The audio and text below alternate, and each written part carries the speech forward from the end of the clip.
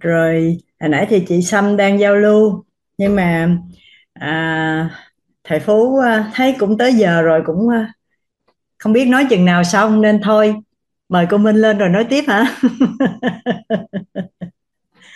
À, sau này á mà mình thấy còn khoảng một hai phút á thì mình chỉ mời khi nào có sự cam kết là nói trong vòng một phút.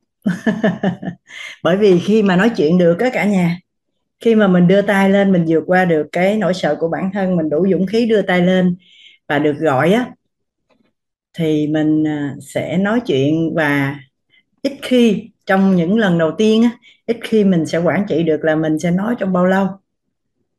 Do đó cái này MC quản trị chứ không có cắt ngang. Nhưng mà chị Sâm thì cũng học nhiều khóa rồi, đúng không? Chị có thể nói chuyện được á đừng không cần đụng vô cái mic đâu À, em chào cô Minh, em chào cô dạ Minh xinh đẹp.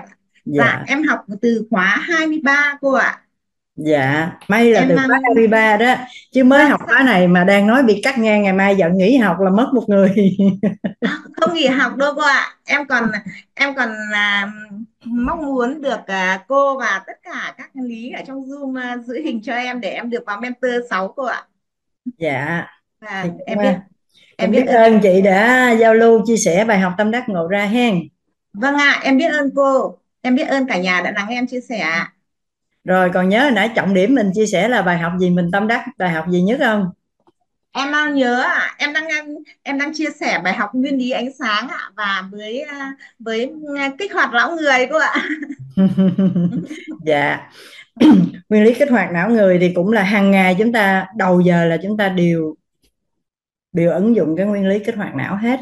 Thế là chúng ta sẽ chia sẻ cái bài học tâm đắc hoặc là điều mình ngộ ra.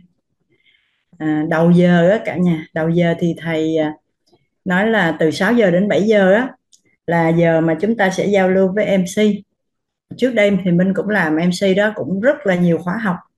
Đó là giờ mà không ghi âm để cho các anh chị cứ thoải mái nhất có thể để giao lưu. Có khi là, chào hỏi nhau. Ô, lâu quá mới gặp chị Minh An, chị Bích Vân nay đẹp quá. Vân vân. Thì chúng ta thoải mái nhất có thể để sao chúng ta có cảm giác là chúng ta quen mọi người trong Zoom á. Để học thì vui hơn, có năng lượng hơn và có sự kết nối hơn. Rồi chúng ta cũng có thể chia sẻ những cái bài học tâm đắc ngộ ra và chúng ta cũng có thể hỏi những cái việc mà chúng ta cảm thấy lúc nữa có ghi âm ngại, không dám hỏi chẳng hạn. Đó. Thì bởi vì có một số anh chị sẽ sẽ có những cái câu hỏi ví dụ như là đã có một tiếng đồng hồ từ 6 giờ tới 7 giờ để giao lưu rồi. Xong 7 giờ tới 8 giờ để giao lưu nữa. Chi vậy? Sao không học luôn ta? Thì mình chia sẻ để cả nhà à, có thể biết vậy ha. Từ 6 đến 7 giờ là không có ghi âm. Và là thời điểm mà chúng ta có thể à, thoải mái giao lưu và có thể chia sẻ có thể làm quen có thể hỏi tên. Hồi xưa thì mình hay hỏi vậy nè ví dụ như mình thấy chị Lê Thị Chới ngày nào chị cũng chào mọi người vậy đó. Cái mình chào chị Chới chị à, mới học lần đầu tiên hả? Rồi cái có những người tên lạ lạ thì mình hỏi thăm vậy đó để mình kết nối. Rồi thỉnh thoảng mình có à, hỏi những cái điều gì đó mà mình cho rằng đông người hơn nữa mình ngại thì mình hỏi đầu giờ cũng được. Còn đến 7 đến 8 giờ á thường đó là cái giờ để tư vấn. Có nghĩa là cái buổi trước mình học mình có những cái việc cái việc gì mà mình thấy chưa có rõ thông mình cần trao đổi thêm. Hoặc là mình thấy cái này tâm đắc quá đi nhất định cho cho mình nói một cái mới được. À, thì mình có thể nói vào cái khung giờ đó. Và cũng không phải nhất thiết hôm nào cũng 7 đến 8 giờ ở cả nhà. Tại vì ờ, cũng có những buổi là nhiều khi 7 giờ rưỡi là chúng ta sẽ học. Vậy đó. Thì tùy tình hình của từng buổi học ha. Dạ tại vì cũng mới mới có buổi thứ ba thôi. Sẵn đầu khóa thì có nhiều anh chị cũng mới á, nên là Minh giao lưu thêm biết ơn cả nhà. À, bây giờ thì Minh thấy có có ai hôm qua đưa tay không có không có đủ thời gian để phát biểu á. Mà hôm nay mình muốn đưa tay lại sớm hơn không? Hình như Minh thấy có Minh An nè đúng không? Minh An hôm qua có đưa tay đúng không? Dạ thưa cô, hôm qua em ờ, em không giơ tay ạ. Hôm nay à. mới giơ tay hôm nay mới đưa tay hen dạ mời Minh An giao lưu đi À dạ vâng ạ. À, lần đầu tiên thì uh, cho em xin gửi lời trân trọng và biết ơn đến uh, người thầy lớn là thầy Trần Thanh Toàn ạ. Em rất là trân trọng và biết ơn đến cô Quế Minh thực sự là em uh, rất là ngưỡng mộ cô ạ. À, em uh, trân trọng và biết ơn đến nguồn tri thức giáo dục tận gốc. Em xin tự giới thiệu, em tên là Đào Minh An, em sinh năm 1989 và năm nay em 20 tuổi. Hiện tại em đang là một giáo viên giảng dạy bộ môn hóa học của một trường cấp 3 trên địa bàn thành phố Hà Nội ạ. À, thực sự em rất là hạnh phúc khi mà ngày hôm nay được à, tham gia lớp học của chúng ta và ừ, em rất là trân trọng và biết ơn đến nhân mạch của em đấy là thầy Ngô Mạnh Cường và cô Thu Giang ạ. dạ À, vâng. em cũng à, xin được chia sẻ là trong à, suốt 10 năm qua à, đã rất nhiều lần em muốn bỏ nghề vì à, em thấy mình không phù hợp với nghề giáo và em không tìm được cái niềm vui nhưng ờ, sau khi em được ờ, tiếp cận đến nguồn tri thức giáo dục tận gốc, từ một người là em rất là chán nghề, thì ờ, bây giờ em cảm thấy rất là hạnh phúc và cảm thấy yêu nghề giáo hơn bao giờ hết. Và em cảm thấy mình vô cùng phước báu khi mà được đứng trong hàng ngũ là một người giáo viên. Và bây giờ em có được cái nguồn năng lượng rất là an vui, hạnh phúc khi em được đứng trên lớp được là người để có thể giúp cho học sinh của mình được tiếp nhận những cái giúp cho học sinh kích hoạt được cái nguồn tri thức của các con ấy cho nên là em em cảm thấy mình vô cùng phước báu chính vì vậy mà em rất mong muốn làm thế nào để sau này có thể giúp cho được 10.000 giáo viên trở nên hạnh phúc hơn à, thì em thấy được rằng là đấy chính là một cái điều mà giúp cho nền giáo dục của Việt Nam sau này sẽ có những cái bước chuyển hóa rất là đặc biệt. À, dạ vâng. Thì um, em được uh, tiếp cận đến nguồn tri thức giáo dục tận gốc từ tháng 7 năm 2023 nhưng đến uh, tháng 12 năm 2023 thì em mới biết đến tổ chức WIT và từ đó đến bây giờ thì em đã có được uh, những cái hiện thực trong cuộc sống của mình. uh, thực sự là mọi thứ trong cuộc sống của em bây giờ đã gần như là đã bước sang một cái trang mới. Em trở thành một cái con người mới và cái thời gian vừa qua à, thì em đã hoàn thành cái bài dự thi à, trong Mentor K06 và à, em đang chờ được uh, các thầy cô uh, phỏng vấn để có thể uh, học tập và sau này sẽ trở thành một chuyên gia tư vấn huấn luyện nội tâm để uh, giúp cho các thầy cô được an vui và hạnh phúc hơn. Uh, vâng, qua cái bài học uh, trong cái buổi một và buổi 2 thì um, cái buổi đầu tiên em rất là tâm đắc và khi mà em mã hóa nghĩa là em mã hóa được cái bài số một ấy ạ. Đấy là bài um, nguyên lý ánh sáng. Thì ở đây em đã hóa được ra cái công thức là một một bốn bảy hai. À, vâng cái số một đầu tiên chính là um, quy luật uh, nhân tốt cộng duyên lành sẽ ra quả như ý. Số một thứ hai của em đây chính là cái nguyên lý ánh sáng. Đó là cái việc mà mình uh, đưa ánh sáng vào thay cho cái việc ờ, là mình sẽ lấy bóng tối ra và cái nguyên lý ánh sáng này có thể nói là một cái nguyên lý vô cùng quan trọng. Nó là cái nguyên lý bao trùm lên các cái nguyên lý khác.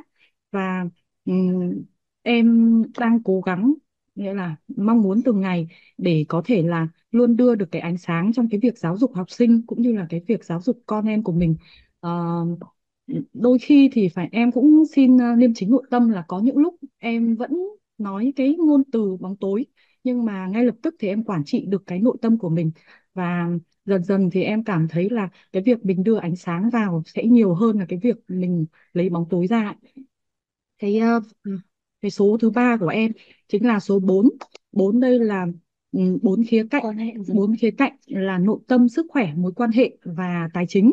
Thì à, cái mục tiêu của em trong năm nay là em được trở thành một chuyên gia tư vấn huấn luyện nội tâm và bên cạnh đó thì em sẽ phát triển về các khía cạnh như là về sức khỏe về mối quan hệ và tài chính và sau này em mong muốn sẽ trở thành một à, nhà đào tạo toàn năng để có thể uh, giúp cho các học sinh của mình đưa những cái tri thức này cho những học sinh cấp 3 thì um, em tin chắc rằng các bạn ý sẽ có một cái sự trưởng thành rất là vượt bậc.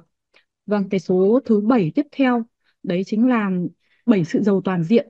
Đó là trí tuệ, uh, tâm thái, à, nhân cách, phẩm chất, à, thể chất, năng lực, à, ừm, trí tuệ, tâm thái, à, nhân cách, phẩm chất, năng lực, thể chất.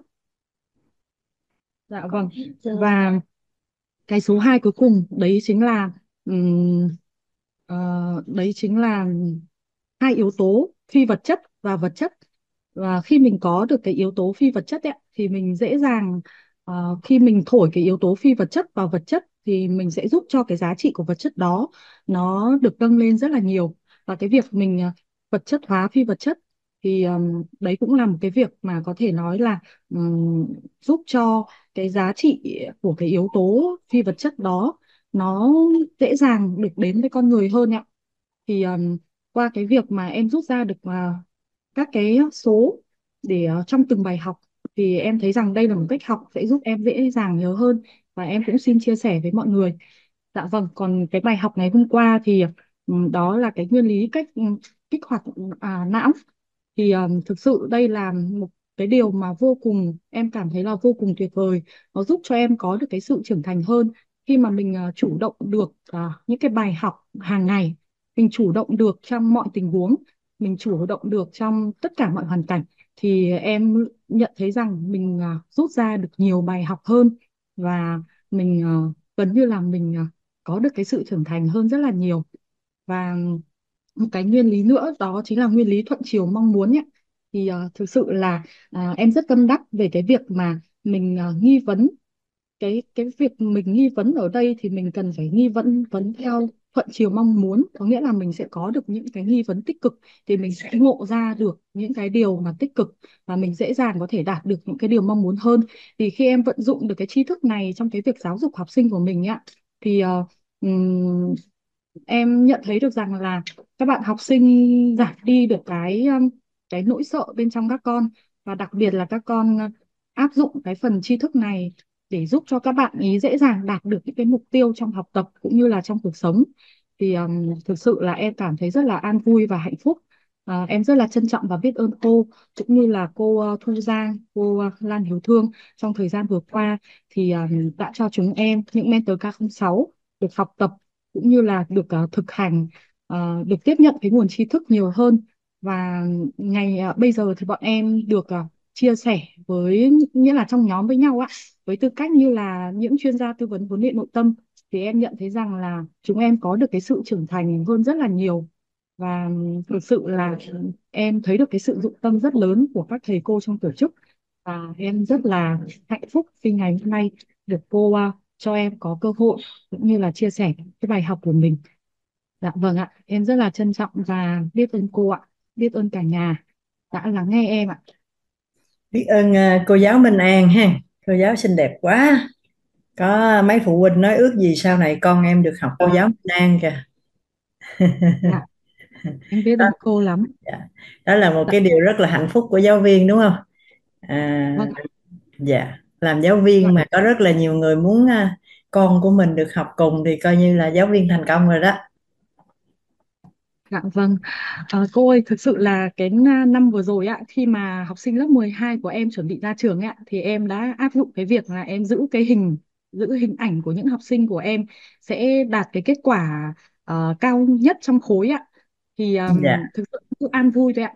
Ờ, kể cả những cái tác động bên ngoài của các giáo viên bộ môn khác hay của các phụ huynh khác, nhưng em vẫn có một cái niềm tin và có một cái hình ảnh đấy là học sinh của em sẽ đạt điểm thành tích rất là cao thì ờ, thực sự là lớp em đã đạt được cái điều đó và em rất có cái niềm tin ờ, về tri thức cũng như là về ừm, cái việc mà ừm, mình có thể kiến tạo lên cái cuộc đời của mình.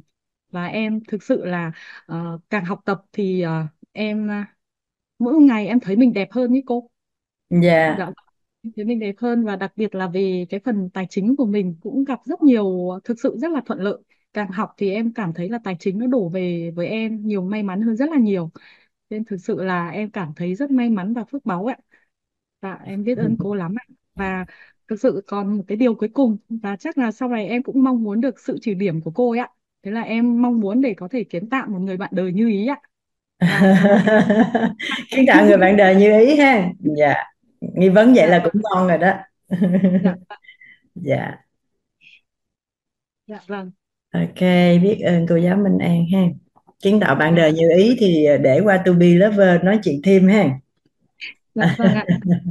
Rất dạ. ngưỡng mộ cô ạ. Ờ, mình thấy ở trên khung chat đó cả nhà có chị Thảo Vũ chị kêu là làm bài tập ngày hôm qua ghi năm cái mong muốn năm cái nghi vấn á. À, không có đưa tay lên nhưng mà có ghi năm cái nghi vấn. Đó thì à, mấy anh chị mà đang đưa tay đó là có ai có hỏi nghi vấn gì không? Tức là có làm cái bài tập hôm qua không? Hay là chia sẻ bài học tâm đắc ngộ ra thôi? Đấy. Cô, cô có thể cho em nói năm cái nghi vấn của mình được không ạ? À, thì nói cũng được ha. Để coi cái nào cần lý giải thì thì nói luôn. Dạ vâng có một cái rồi đó là làm sao để thu hút bạn đời như ý. Câu trả lời là để qua bên to be lover đã ở đây không có phù hợp thời gian ha. Dạ vâng Dạ. em còn bốn cái. Vâng, cái nghi vấn thứ hai là làm sao em có thể giúp cho 10.000 giáo viên trở nên hạnh phúc trong vòng 3 năm tới á? dạ Dạ, 10.000 giáo viên hạnh phúc trong vòng 3 năm tới ha. À, dạ rồi gì nữa? À, nghi vấn thứ ba của em là làm sao để giúp cho con em được học tập trong dự án của tổ chức WIT ờ, dạ trong dự án ở Đà ở Đà Lạt ạ. Và dạ thực sự cái nghi vấn này thì em đã thực hiện được một nửa rồi ạ. Khi mà em biết là thời gian qua tổ chức WIT có một cái dự án à, à, trên Đà Lạt ấy ạ, thì em đã con kịp được mấy thời tuổi rồi cô giáo Dạ, con em năm nay học à, học lớp 5 rồi ạ. dạ rồi Vâng, câu thứ tư dạ vâng. Câu thứ tư là làm sao em có thể trở thành ờ, một nhà lãnh đạo toàn năng ạ rồi. Về à, nội tâm, sức khỏe, à, mối quan hệ và tài chính. dạ. Dạ vâng. bốn câu của cô Minh An á cả nhà. Ở đây các anh chị có ai trùng giống như vậy không? Ai giống thì đánh lên công chat nói có này. Thứ nhất là cô muốn giúp 10.000 giáo viên hạnh, hạnh phúc trong 3 năm. Thì cái này rất rõ ràng ha. Có số lượng và có thời gian rất là rõ ràng à, cái thứ hai là muốn cho con của mình được học các cái lớp học của của quýt cụ thể là các lớp nội trú dành cho trẻ em đó đúng không? Cái thứ ba là ờ, cái thứ ba là làm sao để trở thành một nhà lãnh đạo toàn năng hả? Dạ vâng. cái thứ tư. Và kiến tạo người bạn đời như ý ạ. kiến tạo người bạn đời như ý. Tức là con thì là của bạn đời trước đây hả? Dạ hay vâng là à, bây giờ cần kiến tạo bạn đời mới như ý đúng không à vâng. rồi mấy câu của cô Minh An á cả nhà là học tập thì sẽ làm được. Không có cái câu nào gọi là phải à, chưa phải là nghi vấn. Biết sao mà mình nói chưa phải nghi vấn không? Thứ nhất là mình mới biết tổ chức uh, quýt ở đây và mới có một cái khóa học của tổ chức quýt thôi. Thì nếu mà con muốn học á thì khóa sau đăng ký phỏng vấn rồi đi học thôi. Không có cái gì để trăn trở cả. Được chưa? Cái thứ hai để có thể trở thành nhà lãnh đạo toàn năng á thì bám theo các lớp học đặc biệt là sau này thầy sẽ có lớp mà để đào tạo thành những cái người lãnh đạo toàn năng á thì bám theo đó một học một thời gian rồi mới phát hiện là mình đã mình đã có được những cái gì mà cần phát triển thêm một số cái nào nữa để cho trở thành người toàn năng. Thì cần học tập là được chứ không có phải quá mức để phải trăn trở. Tại vì mới biết đây chưa học cái gì cả mà thì tham gia học tập là ok. Rồi à, cái câu mà kiến tạo ờ, bạn đời thì nữa là ba câu rồi ha. Còn một cái câu là giúp cho 10.000 giáo viên mà đạt được cái an vui hạnh phúc trong 3 năm á. Cái này thì khi học tập chuyên sâu à, có những cái biểu hiện thật sự là mình muốn làm chứ không phải là mình chỉ đặt một cái ước mong như vậy thôi. Thì khi quan sát thấy những việc mình muốn làm giống như là mình sẽ mạnh dạn đi chia sẻ nè mình học hành rất là chăm chỉ, nỗ lực mà mình cũng kiên trì, mình cũng siêng năng đi chia sẻ để giúp đỡ những con người khác. Khi mà nó đạt đến một cái độ nhất định thì mình xin cái sự cố vấn của thầy để thầy chỉ điểm cho. Ví dụ như đối với thầy thì trong khoảng thời gian 5 năm thì có 10.000 mentor của thầy. Bởi vì đó là thầy tự làm, tự xây dựng từ ban đầu. Có nghĩa là mày mò con đường đi, rồi tự làm, rồi có từng người đến hỗ trợ, ủng hộ, dần dần dần dần để sau 5 năm có thể có được 10.000 mentor nhưng mà đến cái giai đoạn mà thầy đã làm được rồi á, cái đâu thầy sẽ cố vấn cho mình rút ngắn lại được. Thì cái con số nào nảy ra trong đầu của mình vào cái thời điểm nào á, không phải tự nhiên đâu cả nhà, mà nó có một cái yếu tố dẫn đến chúng ta mới nói cái con số đó và cái khoảng thời gian đó. Nhưng hiện nay chúng ta mới học buổi thứ ba thôi, chưa đủ khái niệm để lý luận về cái yếu tố làm sao mà trong đầu chúng ta lại nhảy ra con số là 3 năm, chứ không phải là 5 năm 10 năm á hay cô Minh An theo dõi lớp học thêm một vài buổi nữa. một vài buổi. Đến cái nội dung cấu trúc con người á thì ờ, sẽ có cái phần tại sao con số nhảy ra trong đầu chúng ta là 3 năm mà không phải 5 năm. Tại sao là 10.000 người mà không phải là 5.000 hay là 20.000 đó. Nhưng nếu mà chúng ta bám sát học tập à, trở thành à, cái người mà có quyết tâm để thực hiện những cái điều mình mình nói á thì khi một cái độ nhất định mình sẽ xin sự cố vấn của thầy để thầy chỉ điểm cho mình biết là mình nên đi như thế nào các bước đi như thế nào để có thể tạo ra được cái điều mà mình mong muốn. Giống như cô muốn có một cộng đồng 10.000 giáo viên à, hạnh phúc thì cũng không không có gì gọi là phải trăn trở đâu cô Minh An làm thôi à. Tại vì bây giờ nè mình học thấu hiểu nội tâm kiến tạo an vui xong thì mình thấy có được sự an vui không? Dạ có à nếu như mà cô Minh An đã từng có học khóa học rồi và cảm nhận mình nhận được sự an vui rồi thì cô cứ tính ra nè một khóa là bao nhiêu người đó học tập thì bao nhiêu khóa? 3 năm đó cô chia ra coi 3 năm nếu mỗi tháng cô làm một khóa thì 3 năm cô làm được bao nhiêu khóa? 3 năm em sẽ làm được 36 khóa. 36 khóa thì mỗi khóa bao nhiêu người? Dạ. mình dự kiến hơn trăm người hay nhiêu đó mình nói đại đi bao nhiêu người tiếng uh, là khoảng 150 người ạ. Rồi 150 người nhân 36 khóa. Thì nó được bao nhiêu người? Như vậy một mình cô sẽ được có bao nhiêu người đó thôi. Cô kiếm thêm mấy người nữa làm như cô. Vậy là xong 10.000 người. Giáo viên hạnh phúc. Vậy thì đầu tiên không phải cô đi chia sẻ không mà cô sẽ mời những giáo viên đi học để có cùng cái mục tiêu có cùng cái chí hướng giống như cô. Khoảng 10 người chẳng hạn.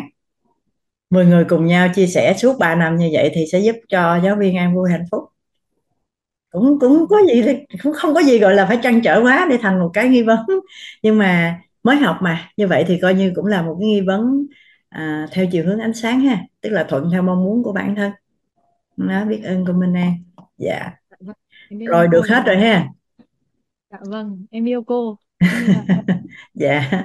Mấy cái đấy thì bắt tay vô làm hết. Tất cả các câu của cô Minh An hỏi là bắt tay vô làm là nó ra kết quả. Mà cô giáo này là cô giáo dạng người hành động nên là cô nói là cô làm được thôi cả nhà. Dạ. Rồi ha. Em biết ơn cô ạ. Dạ.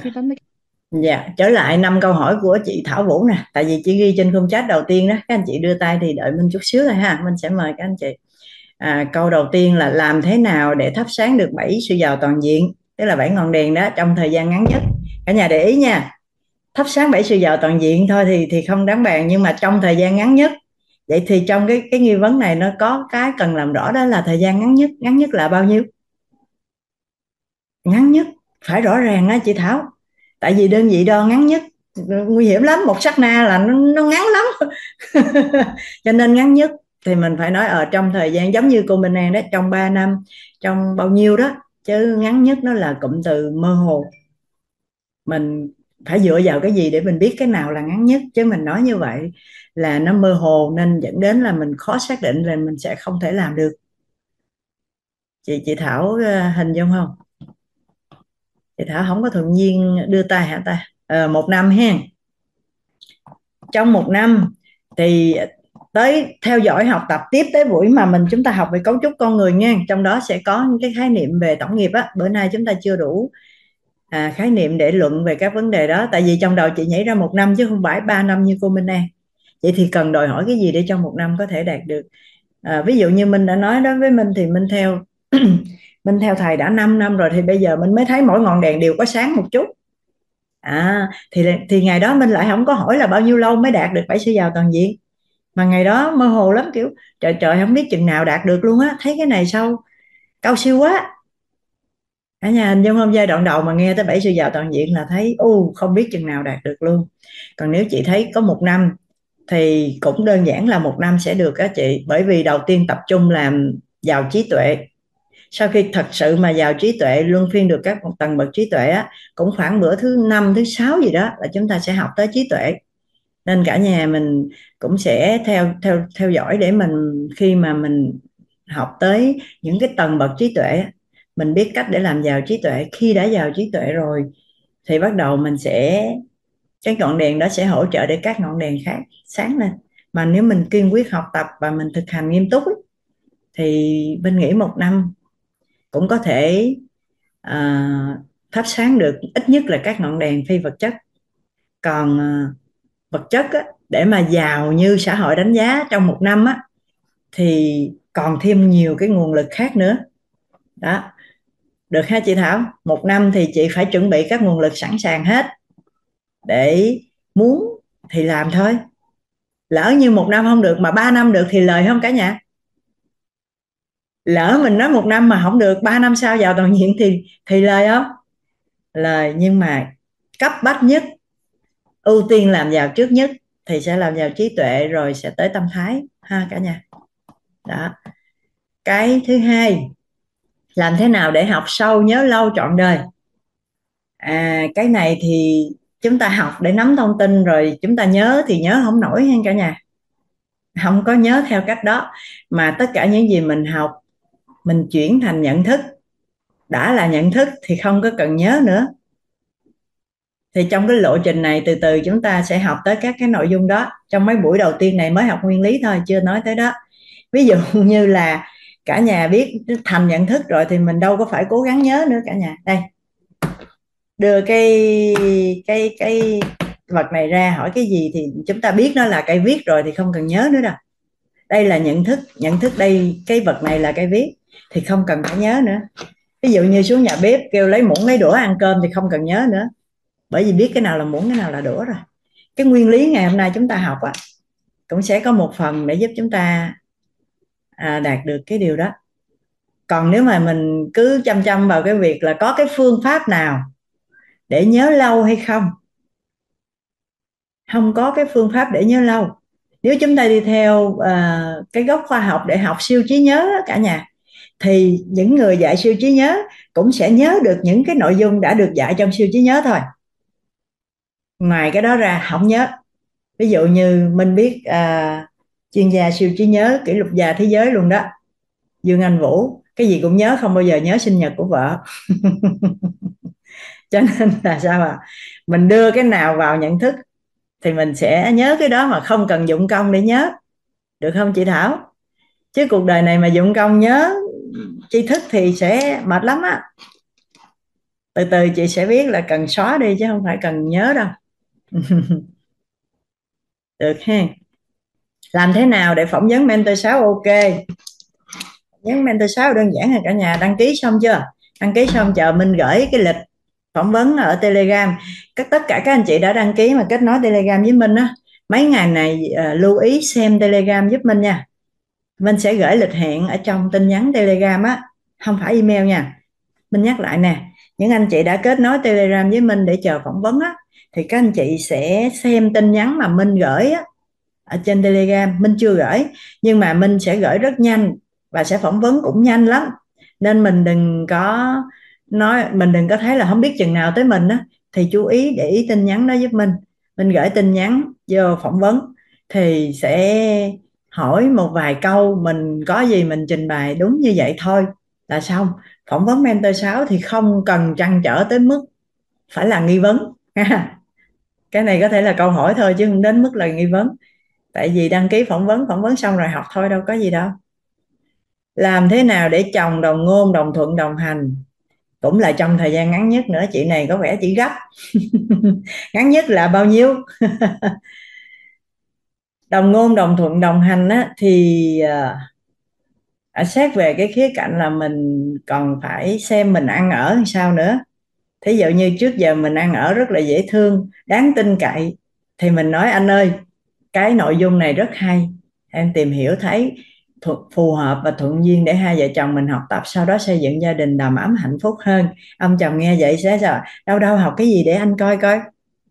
Còn nếu như mà chưa được thuận duyên giống vậy đó trước giờ mình nói cái gì là cũng chưa có được đón nhận chưa được tin tưởng á ha nếu mà chưa có nói một cái mà chưa được đón nhận, chưa được tin tưởng á, thì cái việc mà gấp và quan trọng mình cần phải làm đó là cái sự chuyển hóa của bản thân, cần biểu hiện vật chất. Tức là người nhà nhìn thấy ô học cái gì mà bây giờ ngon lên vậy ta? Ví dụ trước đây bệnh hoài, bây giờ ngon lên, khỏe mạnh, không có bệnh nữa. Trước đây khiều một cái là gạt tay ra, còn bây giờ khiều một cái là được được, vui. Đó tức là sẽ có những cái biểu hiện rất là rõ ràng để người nhà thấy rằng mình ăn học cái gì đó mà mình chuyển hóa rất tốt. Thì cái khả năng à, gia đình sẽ đồng thuận đồng hành với mình cao hơn.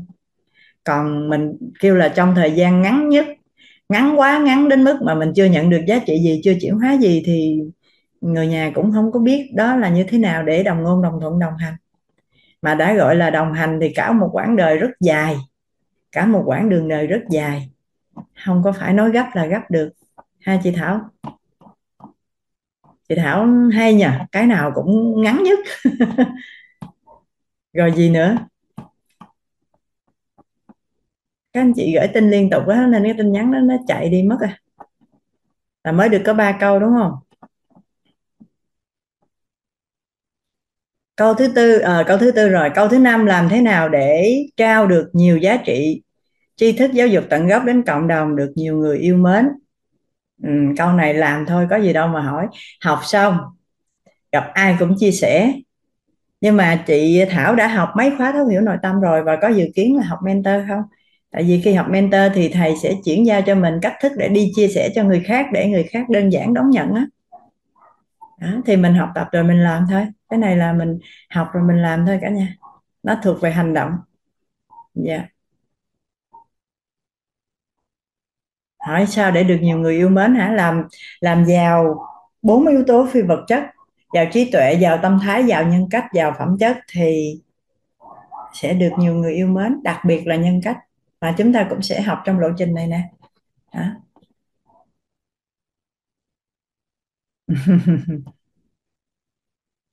rồi mình sẽ mời mấy anh chị đưa tay nha. Dạ mình mời chị bàn đi. Hôm qua hình như chị bàn cũng có đưa tay á. Dạ em chào cô. Em chào cả nhà. Dạ em biết ơn cô gọi tên em. Dạ em rất em rất biết ơn thầy Trần Thanh Toàn. Dạ em rất biết ơn à, các thầy cô trong tổ chức. Dạ em rất biết ơn cô Quý Minh em có học à, khóa 31 32 nhưng mà em chưa chưa học học chưa có học khóa 31 thì không có trọn vẹn. Khóa khóa 32 thì em chưa có gặp cô Quý Minh. Em có nghe ghi âm á em nghe cái cái giọng của cô ngọt ngào lắm. Bây giờ em em mới mới mới biết được cô á. Dạ. Dạ. Dạ. Em à, qua em tên em à, em rất biết ơn. Nhân mạch của em ấy là hai cô à, Thu Hằng và cô Hoàng Anh đó đã kết nối em à, biết được à, à, tổ chức quýt. Và em xin giới thiệu em tên à, Trần Thị Bàn. À, à, em sinh năm 1970 và dạ, năm nay em 20 tuổi ạ. Và em à, em ở à, Cần Giờ. Và à, qua à, bài học mà cô à, chia sẻ bài à, à, um, sáu cái rào cản bài học thứ nhất đó cô. Sáu cái rào cản á. Em trước giờ em cũng à, bị sáu cái rào cản đó cô. Em em không có dám phát biểu. Dạ em bị à, bị sáu cái rào cản đó. À, cho nên lúc nào cũng à, à, sợ và hạn chế và nhận thức đó cô. Dạ. Yeah. Ừ, nào cũng à, mình thêm cái mình mình tầm thường cái bản thân của mình. Nhà rồi cái gì cũng sợ thất bại nhờ sợ chỉ trích hay bình rồi mình cũng sợ thiếu điều kiện. Nhà thiếu hiểu biết rồi thiếu à, tầm nhìn tương lai. Dạ khi mà biết được à, um, em vào trong à, tổ chức quýt này được các à, thầy cô à, chuyển giao chia sẻ.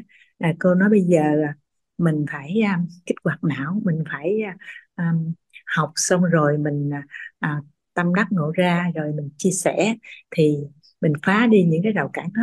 Dạ em à, em rất là à, biết ơn cô. Giống như là em nghĩ như là hồi nào giờ mình ở trong cái kén á mình à, à, do cái không có có có dám bộc phát ra. Dạ khi mà học được rồi mình phải à, vượt qua cái nỗi sợ này, là bộc phá ra giơ tay giơ tay để à, à, chia sẻ. Mà khi mà mình chia sẻ như vậy á thì à, à, các thầy cô biết mình ở chỗ nào mình yếu thì các thầy cô sẽ bồi dưỡng cho mình. À, nên là ừ, em mà em phá à, phá đi cái cái à, cái hạn chế nhận thức của mình. Và em em à, phá đi cái cái rào cản.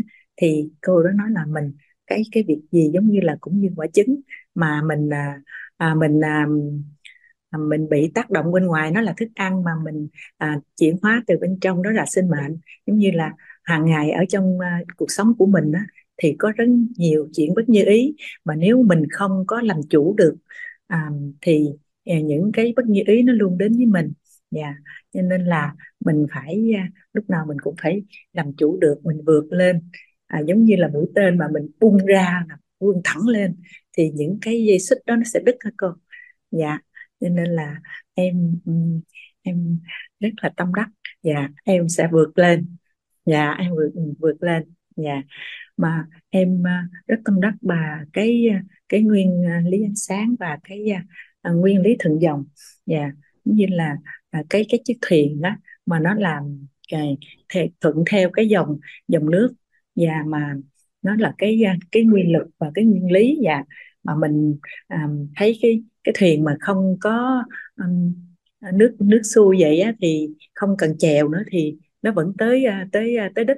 Và mà nếu mà mình có có chèo hoặc là có động cơ thì nó sẽ đến nhanh hơn. Dạ.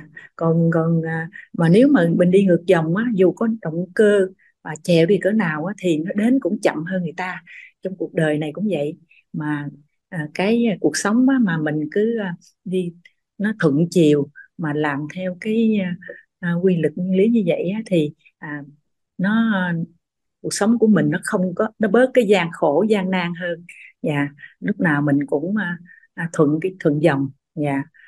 rồi cái à, cái cái nguyên lý ánh sáng thì nó rất là là hay á tự vì cái nguyên lý ánh sáng đó là à nó cô nó chùm hết lên các nguyên lý khác thì gì à, hồi nào giờ á thì mình cũng cũng biết là là nó, nó lúc nào cũng nghĩ là mình sẽ à, nói tốt làm tốt nhưng mà mà nói toàn là ngược chiều không cô?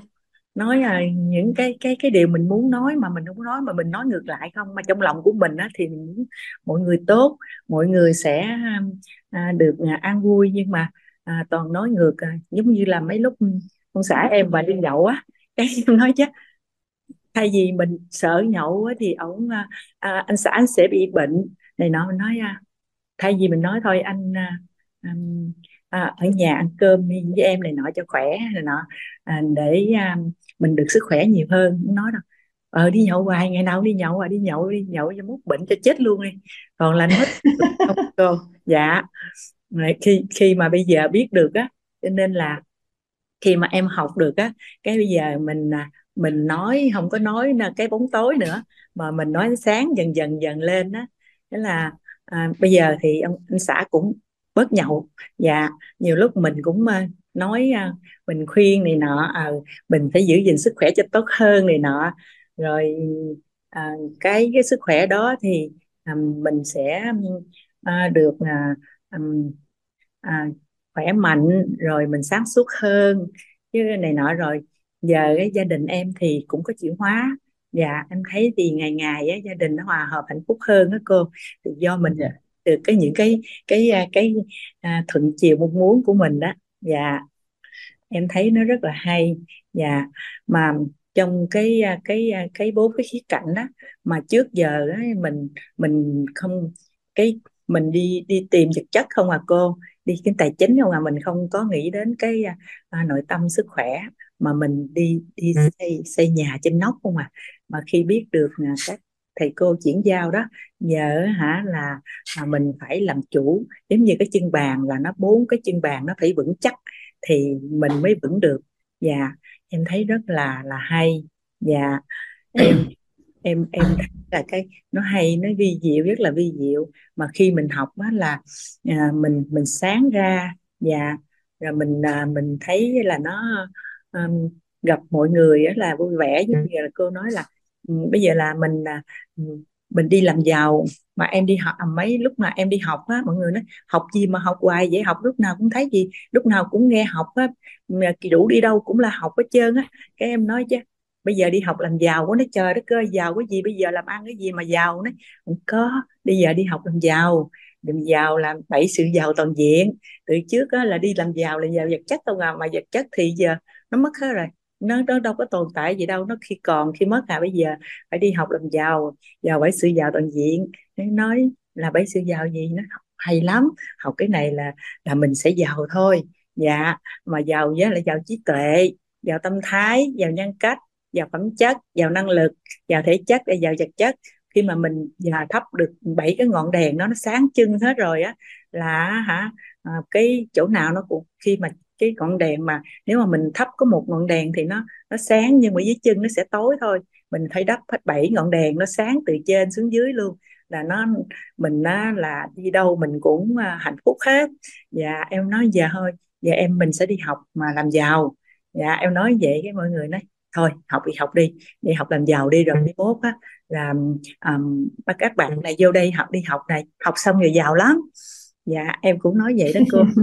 Dạ dạ. Biết dạ. ơn chị bàn. Chị bàn chia sẻ dễ thương quá hả cả nhà? Dạ. Em rất biết ơn cô. Cô. Em à, em nói dạ em um, em cũng mà có có làm bài test năm vô mentor 6 á. Em cũng mong cô với cả nhà chứ đừng em sẽ vô mentor 6 em học.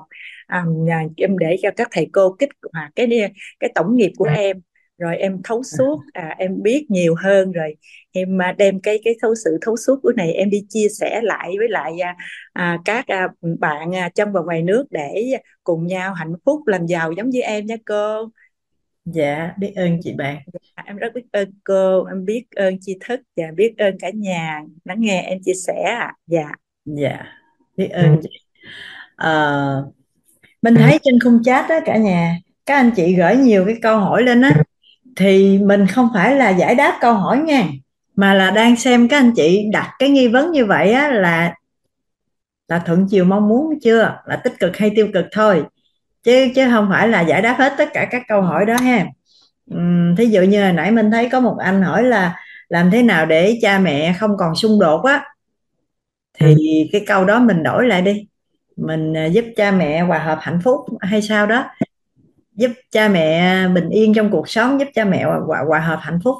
Chớ mình giúp cha mẹ không còn xung đột nghĩa là cái sự trăn trở trong đầu của mình hình ảnh trong đầu của mình luôn luôn là hình ảnh cha mẹ xung đột. Tuy mình đặt câu hỏi là mình muốn làm sao cho hết cái sự xung đột đó thì cũng giống như mình nói bản thân mình đó làm sao cho hết bệnh đó.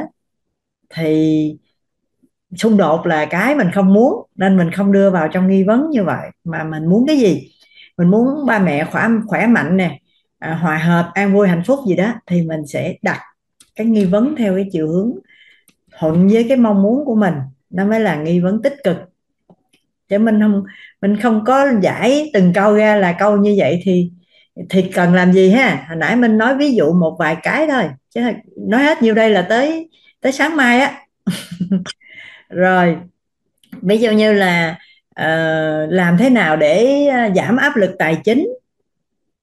Thôi mình hỏi sao để mình giàu luôn đi mình giàu vật chất luôn đi thì sẽ ngon hơn. Mình đi tìm cái cách để mình làm giàu luôn. Chứ bây giờ mình tìm được các cái lý do để mình giảm áp lực tài chính là chỉ xong giảm áp lực tài chính thôi. Chứ đâu đạt được cái mình muốn. Giống như câu hỏi mà để ba mẹ không xung đột nữa đó thì ba mẹ không xung đột nữa thôi. Ừ, có rất nhiều cái cái kết quả không xung đột nữa mà không phải cái mình muốn. Nên đã nghi vấn thì đặt nghi vấn thẳng vô cái mình muốn luôn cả nhà. Đừng có vòng vòng mé mé ở ngoài như vậy. Hai ông bà có một người nghĩ nói là cũng không xung đột vậy nhưng mà đâu phải cái mình muốn. Giảm áp lực tài chính thì cũng không phải luôn. Giảm hết cái áp lực tài chính nhưng mà mình không có đạt được điều mình muốn thì cũng không phải không phải là cái kết quả mà mình mong muốn. Nên là đặt nghi vấn đó, là phải ra soát lại xem bản thân thật sự mong muốn điều gì, thì đặt nghi vấn hướng theo cái chiều đó để chi? Để não bộ của mình được kích hoạt cái cơ chế vận hành giải ra cái lời giải đó. Một ngày nào đó ngộ ra được thì sẽ hiểu và chuyển hóa đúng cái kết quả mình mong muốn. Chứ ngay từ nghi vấn đã không đúng như vậy rồi thì sao ạ? À? trăn trở nhiều năm tháng tìm ra lời giải không phù hợp. Như hôm qua mình nói đó tại sao nhà mình năm người đều là lao động cực lực mà vẫn nghèo? Thì, thì sau khi trăn trở nhiều năm tìm ra hết các câu trả lời thì kết luận lại là đúng rồi như vậy nghèo là phải rồi. Chứ đâu có tìm ra được cái cách để làm giàu lên. Đó cái ví dụ mà mình đã nói hôm qua là rất rõ ràng. Nên à, những cái nghi vấn đó cả nhà rất cẩn thận nha. Bởi vì nguyên lý à, nghi vấn thuận chiều mong muốn là một nghi vấn khi chúng ta ứng dụng tốt chúng ta trở thành bậc thầy trong định hướng cho người khác và kể cả là trong định hướng cho tương lai của bản thân mình, nên cần phải rõ cái điều mình mong muốn. Và đạt nghi vấn, phải thuận theo cái chiều mong muốn đó, nó sẽ là nghi vấn tích cực.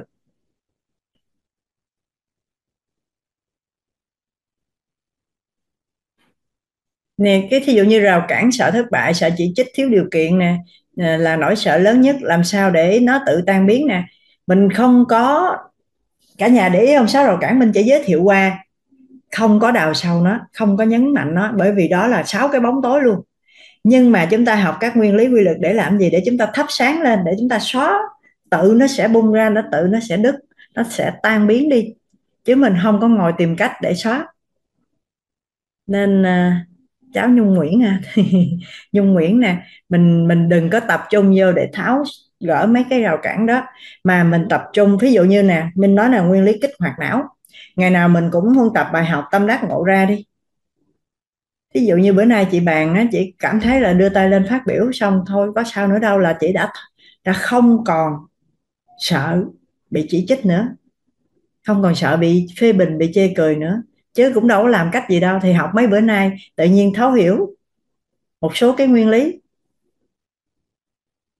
Mình muốn phát biểu thì đưa tay lên phát biểu, vậy thôi. Tự nhiên sợ, đâu có gì đâu mà sợ nên mấy cái rào cản đó cả nhà đừng tập trung quá ha. Mình tập trung vào các nguyên lý quy luật để mình thuận theo đó thì sẽ ok thôi. Hôm nay một chút nữa đó, chúng ta sẽ học một nguyên lý đặc biệt quan trọng. Nguyên lý đó cũng sẽ tháo gỡ được cho rất là nhiều người các cái vướng mắt. nhưng mà mình không phải tập trung tháo gỡ, mình chỉ tập trung sao ạ? Vận hành cái nguyên lý thôi là tự nhiên những cái đó nó biến mất hết còn tập trung, tháo gỡ thì sao? Càng tập trung nó càng lớn. Gỡ cái này thì nó lòi ra cái khác. Ví dụ như mình gỡ được nỗi sợ đưa tay phát biểu trên zoom, thì mình vẫn còn nỗi sợ đứng trước đám đông. Mình vẫn còn nỗi sợ nói chuyện với lãnh đạo. U nhiều lắm. Nhưng vận hành đúng nguyên lý, thì tự nó hết, không còn cái nào hết đó cho nên đừng tập trung gỡ từng cái ha. Làm thế nào để công ty phát triển trường tồn? Làm thế nào để gia tộc trở thành gia tộc quý tộc. Làm thế nào để gia đình an vui hạnh phúc? Làm thế nào để trở thành Iron Man? Làm thế nào để giàu toàn diện? Ở mấy câu dạy ngon đó, bắt đầu học tập làm thì nó thành thôi. Đặc biệt là làm thế nào để trở thành Iron Man, tham gia nhóm Iron Man. Tập luyện theo mọi người. Rồi thì đi thi để sống đúng rồi, mình phải vận hành theo đúng nguyên lý quy luật là giống như con thuyền cuộc đời mình, nó đi theo đúng dòng nước. Chứ mình à, không có ngồi đó mình gỡ từng cái khó khăn nha cả nhà yeah. À, chị Tiffany nói là ở Mỹ muốn biết thông tin để tham gia mentor ha. Lớp mentor là như thế này chúng ta học lớp thấu hiểu nội tâm kiến tạo an vui. Sau khi học xong mình thấy ồ lớp hay quá. Lớp này có ý nghĩa và rất giá trị mình mong muốn lan tỏa lớp này cho nhiều người.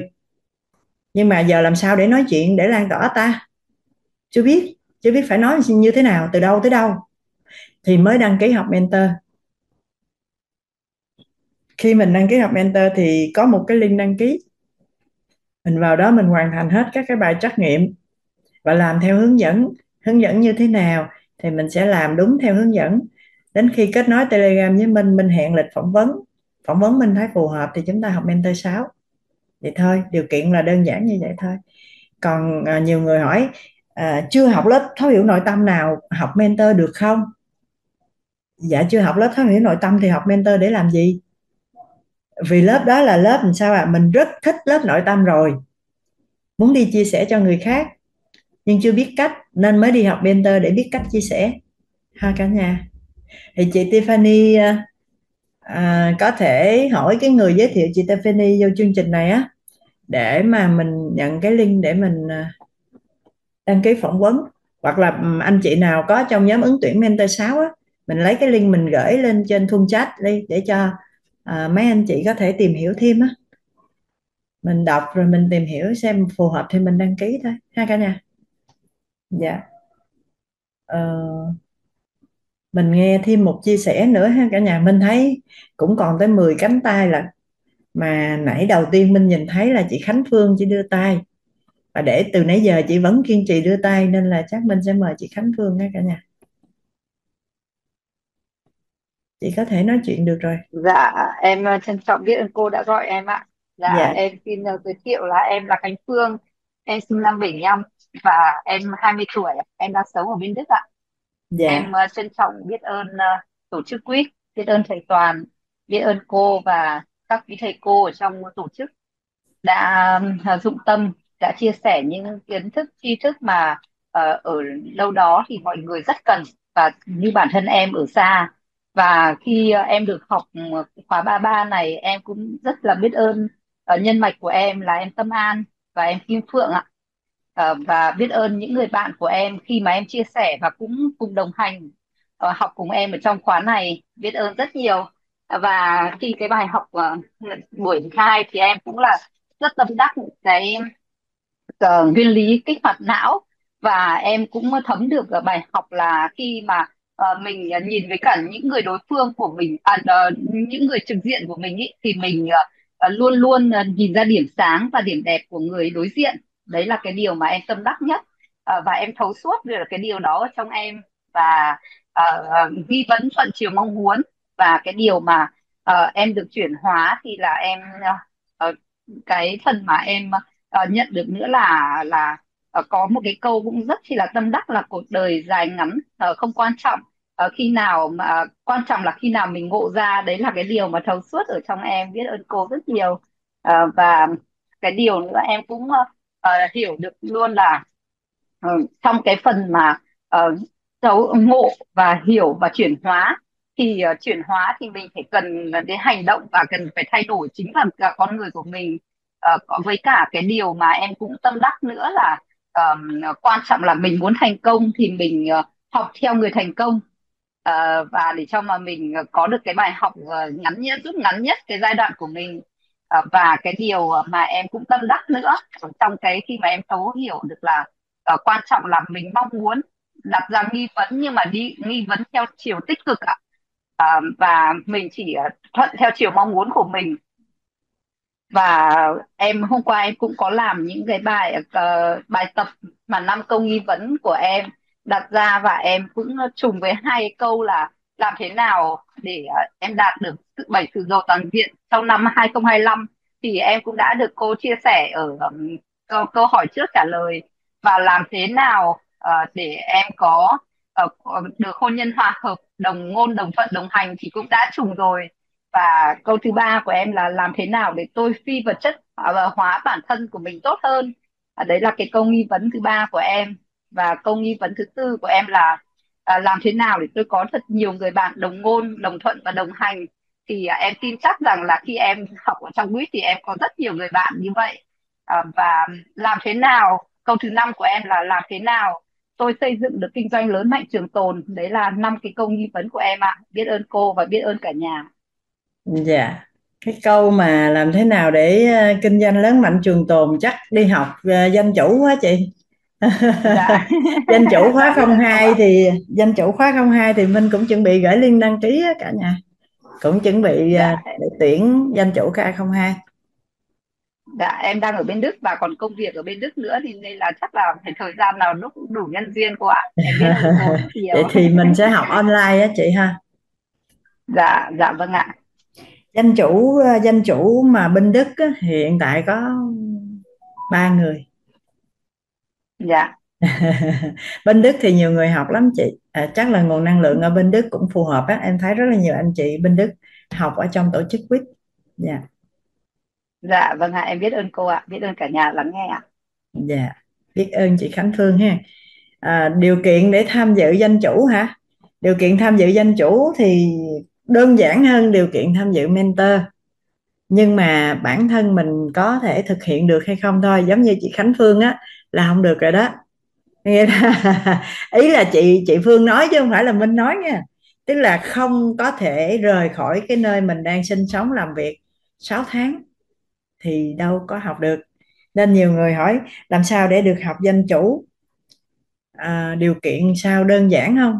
Dạ điều kiện rất đơn giản. Mình đầu tiên hết mình có thể ly gia các ái 6 tháng ly gia các ái nghĩa là mình không có sử dụng phương tiện liên lạc ra bên ngoài không có yêu đương tình ái gì cả. Ở trong đó mình học tập mình uh, rèn luyện thôi 6 tháng. Đó điều kiện nhiều đó là thấy ngon chưa?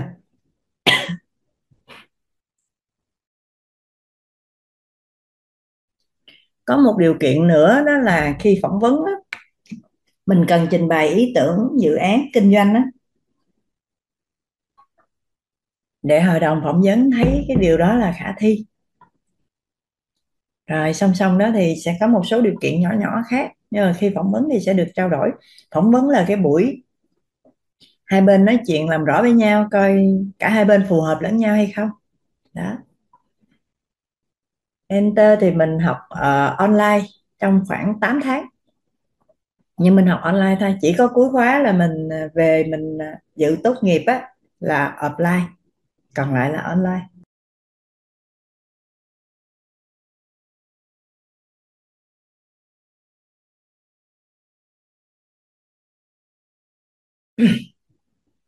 Tất cả những người học dân chủ thì từ 18 tuổi trở lên và không có tiền án tiền sự.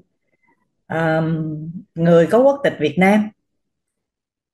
Uh, sinh sống ở Việt Nam thì càng tốt. Sinh sống ở nước ngoài thì nó cũng không có thuận lợi cho các anh chị sắp xếp công việc gia đình rồi thôi. Chứ còn thực ra thì, ở đâu cũng vậy, đã đồng ý học thì sách ba lô lên và đi. Có một lần người tới về luôn thì ở đâu cũng như nhau mà cả nhà. Đúng không? Ở đâu thì cũng tới cái chỗ đó rồi đúng hết 6 tháng đi về nên đến đâu có gần xa gì đâu. Vấn đề còn lại là chúng ta có sắp xếp được bốn khía cạnh của cuộc sống hay không? Chúng ta có sắp xếp được nội tâm để xa người thân, xa người yêu, xa con cái, cha mẹ, xa gia đình được không? Mối quan hệ xã hội của mình có đủ để mọi người trợ cho mình đi mà ở nhà vẫn yên ổn không? Tài chính, mình không có làm gì trong 6 tháng thì những người phụ thuộc tài chính với mình ổn không? Gia đình mình ổn không? Sao 6 tháng mà mình không làm gì để có thu nhập cả? Đúng không? Rồi sức khỏe sức khỏe của mình có đảm bảo đáp ứng đủ cái yêu cầu học tập và huấn luyện tương đối là, tương đối là dày đặc ở trong danh chủ hay không? Cho nên nói đơn giản vậy thôi chứ một người cần phải sắp xếp được cả bốn khía cạnh thì mới có thể trở thành danh chủ được. Đó. Mentor học 8 tháng chắc master còn lâu hơn. Không, master thì đâu học lâu hơn. Tại vì master là đã có nền tảng vững chắc từ mentor hết rồi. Phải là mentor tốt nghiệp thì mới học master. Danh chủ học gì hả? Học bốn cái lĩnh vực đó. Làm chủ sức khỏe, làm chủ nội tâm, làm chủ mối quan hệ, làm chủ tài chính sau đó thì mình học các cái kỹ năng của wisdom. Và mình học cách để trở thành lãnh đạo toàn toàn năng danh nhân văn hóa. Và ờ, những cái giao tiếp trong xã hội những bộ môn kỹ năng như là khiêu vũ bắn cung cưỡi ngựa vậy đó. Cờ à, phong thái trang điểm trà đạo thẩm hương. Đó, những cái môn mà một tổng tài có thể đi giao tiếp xã hội tự tin chứ mình không có đi vô đó học để kiếm tiền hay cả nhà cũng không có vô đó học cái cách để đi ra kinh doanh. À, cái đó thì mình đi học đại học kinh tế hay đại học quản trị kinh doanh gì đó chứ danh chủ không có dạy mấy cái đó. Nói chung mình cũng vẫn học là nhân sinh quan á cả nhà. Vẫn là học nhân sinh quan là chủ yếu. Có một số bộ môn kỹ năng nhưng mà nó cũng là những cái bộ môn để giao tiếp xã hội thôi.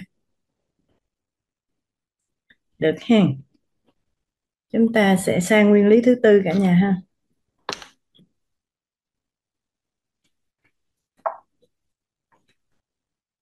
Ní là gì hả? Có người hỏi ní là gì? Ní là cái tiếng gọi thân thương của người miền Tây á. Gọi cái người mà cỡ cỡ tuổi với mình á. Mình gọi ní ná cho vui chứ mình không có gọi mình không có gọi trang trọng á cả nhà. Tức là ví dụ như ờ, cái người cùng trang lứa với mình ha thay vì mình gọi là à, bạn ơi à, tôi với bạn đi đây đi kia gì đó thì nghe trang trọng quá. Mà thân với nhau thì sao ní ơi ní làm giùm cái này á. Đó. Giống như cậu tớ ha à, cậu tớ ở miền Bắc ha. Dạ. Rồi sau á, thì thầy toàn muốn cộng đồng của chúng ta nhận diện ra nhau á gặp nhau thì gọi nhau là ní. Ní là mình gọi đối phương chứ mình không có xưng mình là ní. Được không?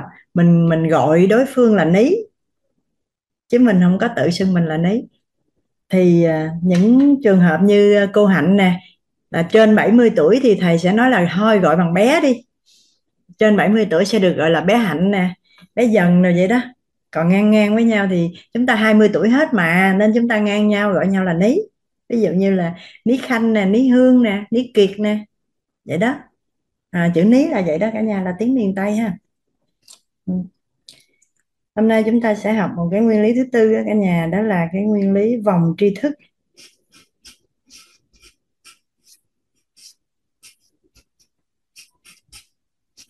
Cả nhà cũng ghi vô giúp mình ha. Nguyên lý vòng tri thức.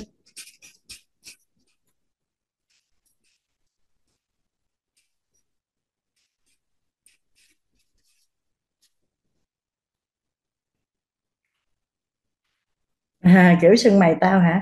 Miền Nam cũng có sưng mày tao nữa cả nhà. Thân nhau cũng gọi mày tao nữa. Nhưng mà thấy ní thì nghe nhẹ nhàng hơn á dễ đón nhận hơn. À, đưa chị Hồng Trương nói đưa tay mà sao không được hả? Ở trên cái màn hình của mình thì mình nó có mấy cái biểu tượng tùy theo cái thiết bị. Mình chọn cái chỗ raise hand thì mình đưa lên thôi. Dạ. Nhưng mà à, có hai anh chị còn đưa tay nè chắc giúp đỡ minh mình để tay xuống ha. Cái lúc thuận duyên thì mình lại à, đưa tay lên để mình để mình giao lưu sau bây giờ thì mình học nội dung mới á cả nhà.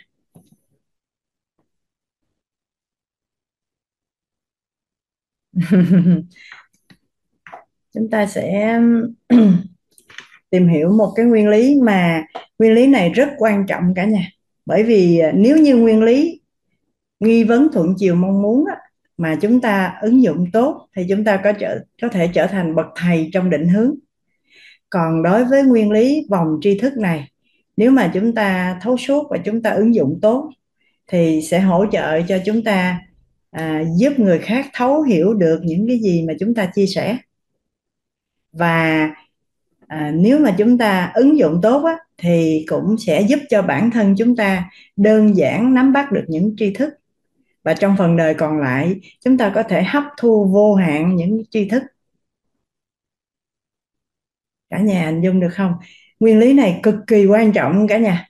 Bởi vì á, à, sẽ giúp cho chúng ta hỗ trợ chúng ta chia sẻ để cho người khác thấu hiểu.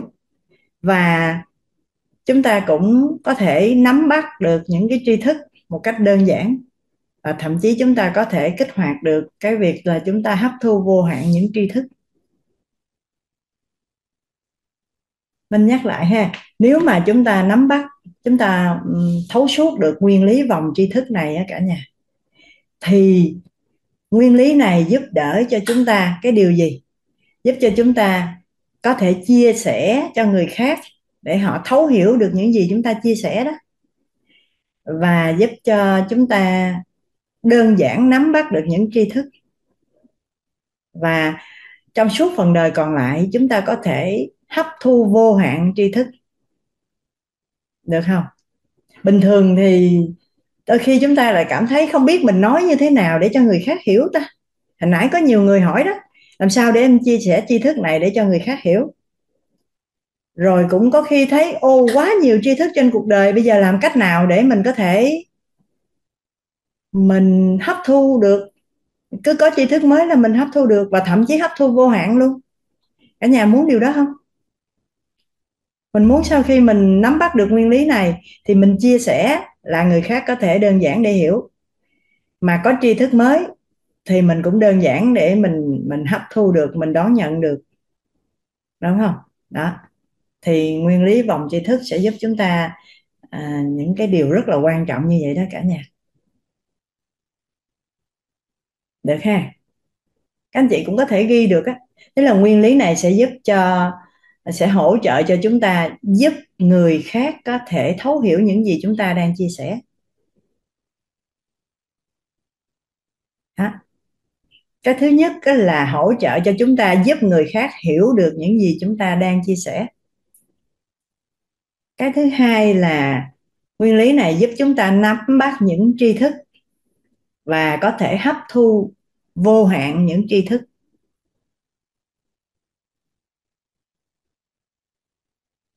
Có hai phía thôi. Phía thứ nhất là nếu mình chia sẻ mà mình biết vận dụng nguyên lý này, thì người nghe rất là đơn giản để hiểu những gì chúng ta đang chia sẻ. Ấy mình đang nói lại nè. Nói tới nói lui đó khi nào mà mà các anh chị hình dung được nếu mà chúng ta nắm bắt được nguyên lý này, thì nếu chúng ta là người chia sẻ đó nguyên lý này sẽ giúp chúng ta, giúp cho người người nghe hiểu được những gì chúng ta đang chia sẻ. Còn về phía của chúng ta thì sao? Chúng ta đơn giản để nhận được những tri thức và chúng ta có thể hấp thu vô hạn những tri thức. Các anh chị ghi đơn giản thôi, ghi theo ý mình hiểu đó là được. Nè, ở đây chị chị Ngọc Tuyền chỉ ghi nè, thấu suốt được nguyên lý vòng tri thức giúp chúng ta chia sẻ người khác thấu hiểu những gì chúng ta đang chia sẻ, giúp chúng ta đơn giản nắm bắt tri thức và hấp thu vô hạn tri thức nè. Đó. Chị Duyên ghi kịp không? Nguyên lý này hỗ trợ chúng ta giúp cho người khác có thể thấu hiểu những gì chúng ta đang chia sẻ và cũng giúp cho chúng ta nắm bắt được những tri thức. Chúng ta có thể hấp thu vô hạn tri thức. Đây, Phạm Khánh cũng có ghi lại nè.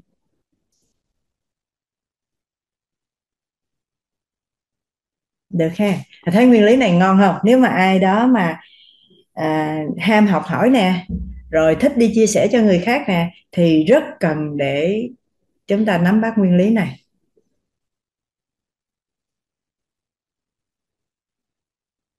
Dạ đó nhiều người đánh lên khung chat đó cả nhà.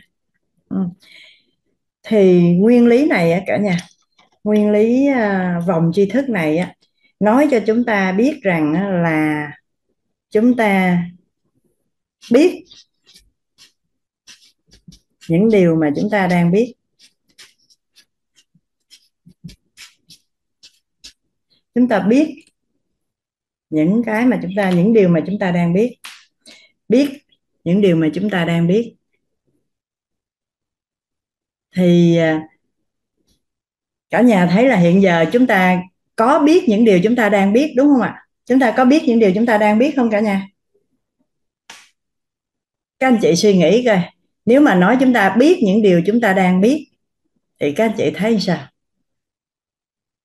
Cả nhà giúp mình ha, cả nhà suy nghĩ nè. Hiện bây giờ nè, chúng ta là đang biết những gì chúng ta biết. Cả nhà thấy sao? Thấy đúng không? Thấy đúng đúng không? Thì mình chỉ biết những gì mình đang biết thôi chứ. Mình đâu có biết cái gì khác được mình chỉ có biết những gì mình đang biết thôi. Đúng ha? Dạ. Đúng rồi đó. Chúng ta biết những gì chúng ta biết. Sao biết được cái mình không biết hả?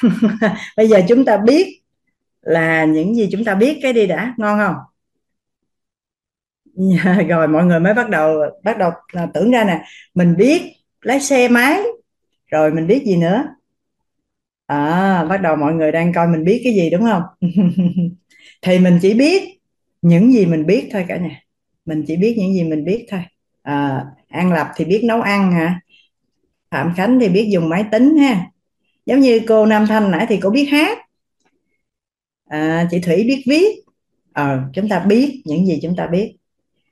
Và có những cái chúng ta biết. Nhưng mà chúng ta quên rồi. Có cái này không cả nhà? Có những cái điều chúng ta biết mà chúng ta quên rồi. Có không? Có luôn. Chúng ta biết, nhưng chúng ta quên rồi.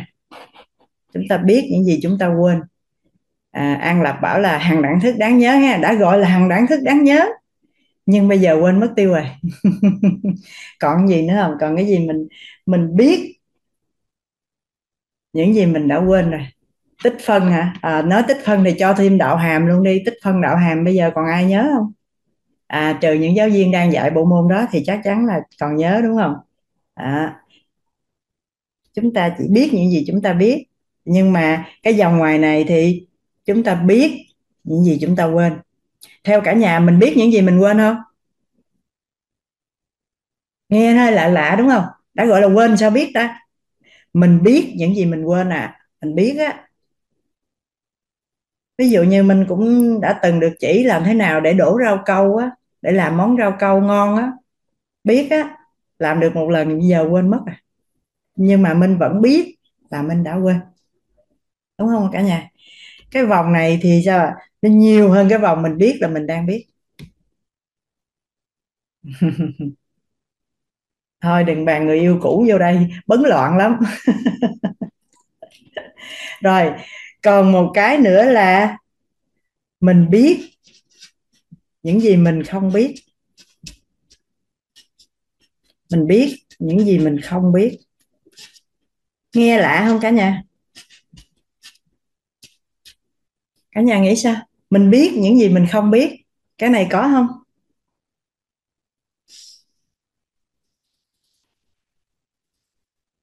Có cái mình biết, mình không biết không? À đây, có chị nói là em biết là em không biết lái máy bay. Đó, biết là không biết lái ô tô. Đúng rồi, có rất là nhiều cái mình biết là mình không biết ví dụ như mình biết là mình không biết may quần áo. Rồi có người biết là không biết bơi nữa nè. Đó, nhiều lắm. Cái mà mình biết là mình không biết, nó cũng, nó còn nhiều hơn biết, đã quên nữa cả nhà. Được ha? Được ha? Nguyên lý này cho chúng ta biết là chúng ta biết những gì chúng ta đang biết. Và chúng ta biết những gì chúng ta đã quên chúng ta còn biết những gì chúng ta không biết nữa. Và còn một dòng nữa, nó mênh mông luôn cả nhà. Đó là chúng ta không biết. Chúng ta không biết. Chúng ta không biết. Những gì chúng ta không biết. Mình cứ từ từ thôi ha. Mình cứ từ từ thôi. Mình làm rõ với nhau từ từ thôi.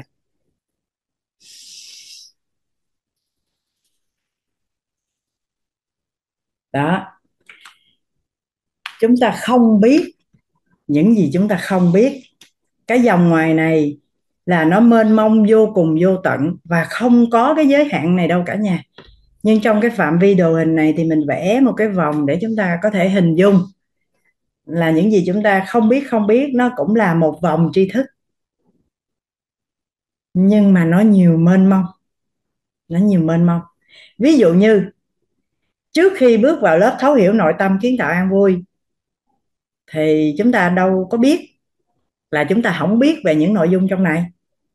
Đúng không? Cái này nó nằm ngoài cái biết của chúng ta rồi cả nhà, và nó mênh mông vô cùng, vô tận. Con người của chúng ta thì chỉ biết được những gì mình biết và biết những gì đã quên, biết những gì mình không biết. Còn một vòng mênh mông vô tận bên ngoài này là không biết là mình không biết luôn. Được chưa? Mình từ từ thôi ha. Tới đây được chưa cả nhà? Trước khi vào là không biết tồn tại tri thức hay như thế này. Dạ đúng rồi, mình không biết. Không biết là bản thân không biết luôn á. Mà cái này nó nhiều vô cùng vô tận luôn nhiều vô cùng vô tận. Ở đây chúng ta chỉ khoanh lại để giới hạn ở trong cái đồ hình thôi chứ thực tế không có giới hạn ha cả nhà? Đó. Được ha cả nhà? Mình cũng à, vẽ vô với mình ha. Mình cũng vẽ vô. Cho nên á, đối với nguyên lý vòng tri thức chúng ta có thể nói gọn lại là tri thức của con người á, cả nhà thì có bốn vòng thôi. Thứ nhất là chúng ta chỉ biết những gì mình biết và chúng ta biết những gì mình quên chúng ta biết những gì mình không biết và không biết là mình không biết luôn. Mỗi người sẽ tự rà soát để biết ờ à, bây giờ mình biết cái gì ta? Và mình đã quên cái gì rồi? Mình không biết điều gì. Vậy trong suốt cái lộ trình 21 buổi của chúng ta nếu có những cái mà các anh chị chưa từng bao giờ nghe chưa bao giờ nghe ở bất cứ đâu luôn chưa nghe bao giờ hết luôn. Thì các anh chị cũng khoan vội uh, nhận định hay kết luận gì cả. Mà các anh chị biết rằng ô thì ra nó nằm ở vòng trước đây mình không biết là mình không biết. À, giúp đỡ mình cái điều này được không cả nhà? Sắp tới đây vài buổi học sắp tới đây sẽ có những tri thức mà các anh chị lần đầu tiên nghe luôn. Thì mình sẽ biết được là nó đang nằm ở vòng không biết không biết vậy việc còn lại thì mình làm gì? Khi mình nghe tới thì nó đã chuyển sang gì? Bây giờ mình biết là mình không biết rồi đó. Đúng không?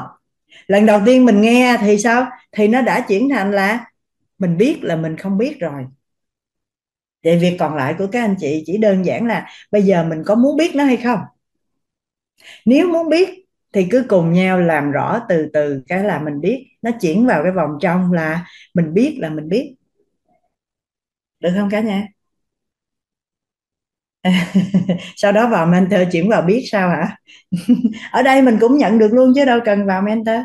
Ở đây mình cũng biết luôn mà. Nếu mình chấp nhận, mình muốn chuyển nó vào thành cái biết của mình, thì cùng nhau tìm hiểu để chuyển nó vào vòng trong, trở thành cái mình biết là mình biết. Ừ, if you know you know. Mình biết là mình biết từ từ ha, mình cứ từ từ thôi, mình nghe biết biết vậy thôi chứ nó rất đơn giản cả nhà, nguyên lý này rất đơn giản. Mà chính cái nguyên lý này sẽ giúp đỡ cho chúng ta. Từ đây về sau, chúng ta rất tự tin rằng ai rồi cũng có cái biết biết. Biết quên, biết không biết và không biết không biết như nhau thôi. Ai cũng như nhau hết.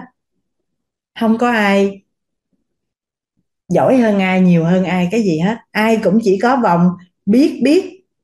Và cũng có biết, quên, biết, không biết và không biết không biết, như nhau thôi. Quan trọng là chúng ta biết rằng mình đang biết cái gì. Và chúng ta phải biết là mình không biết cái gì. Được không cả nhà? Bây giờ cả nhà suy nghĩ giúp minh ha. Bây giờ cả nhà suy nghĩ giúp minh nè.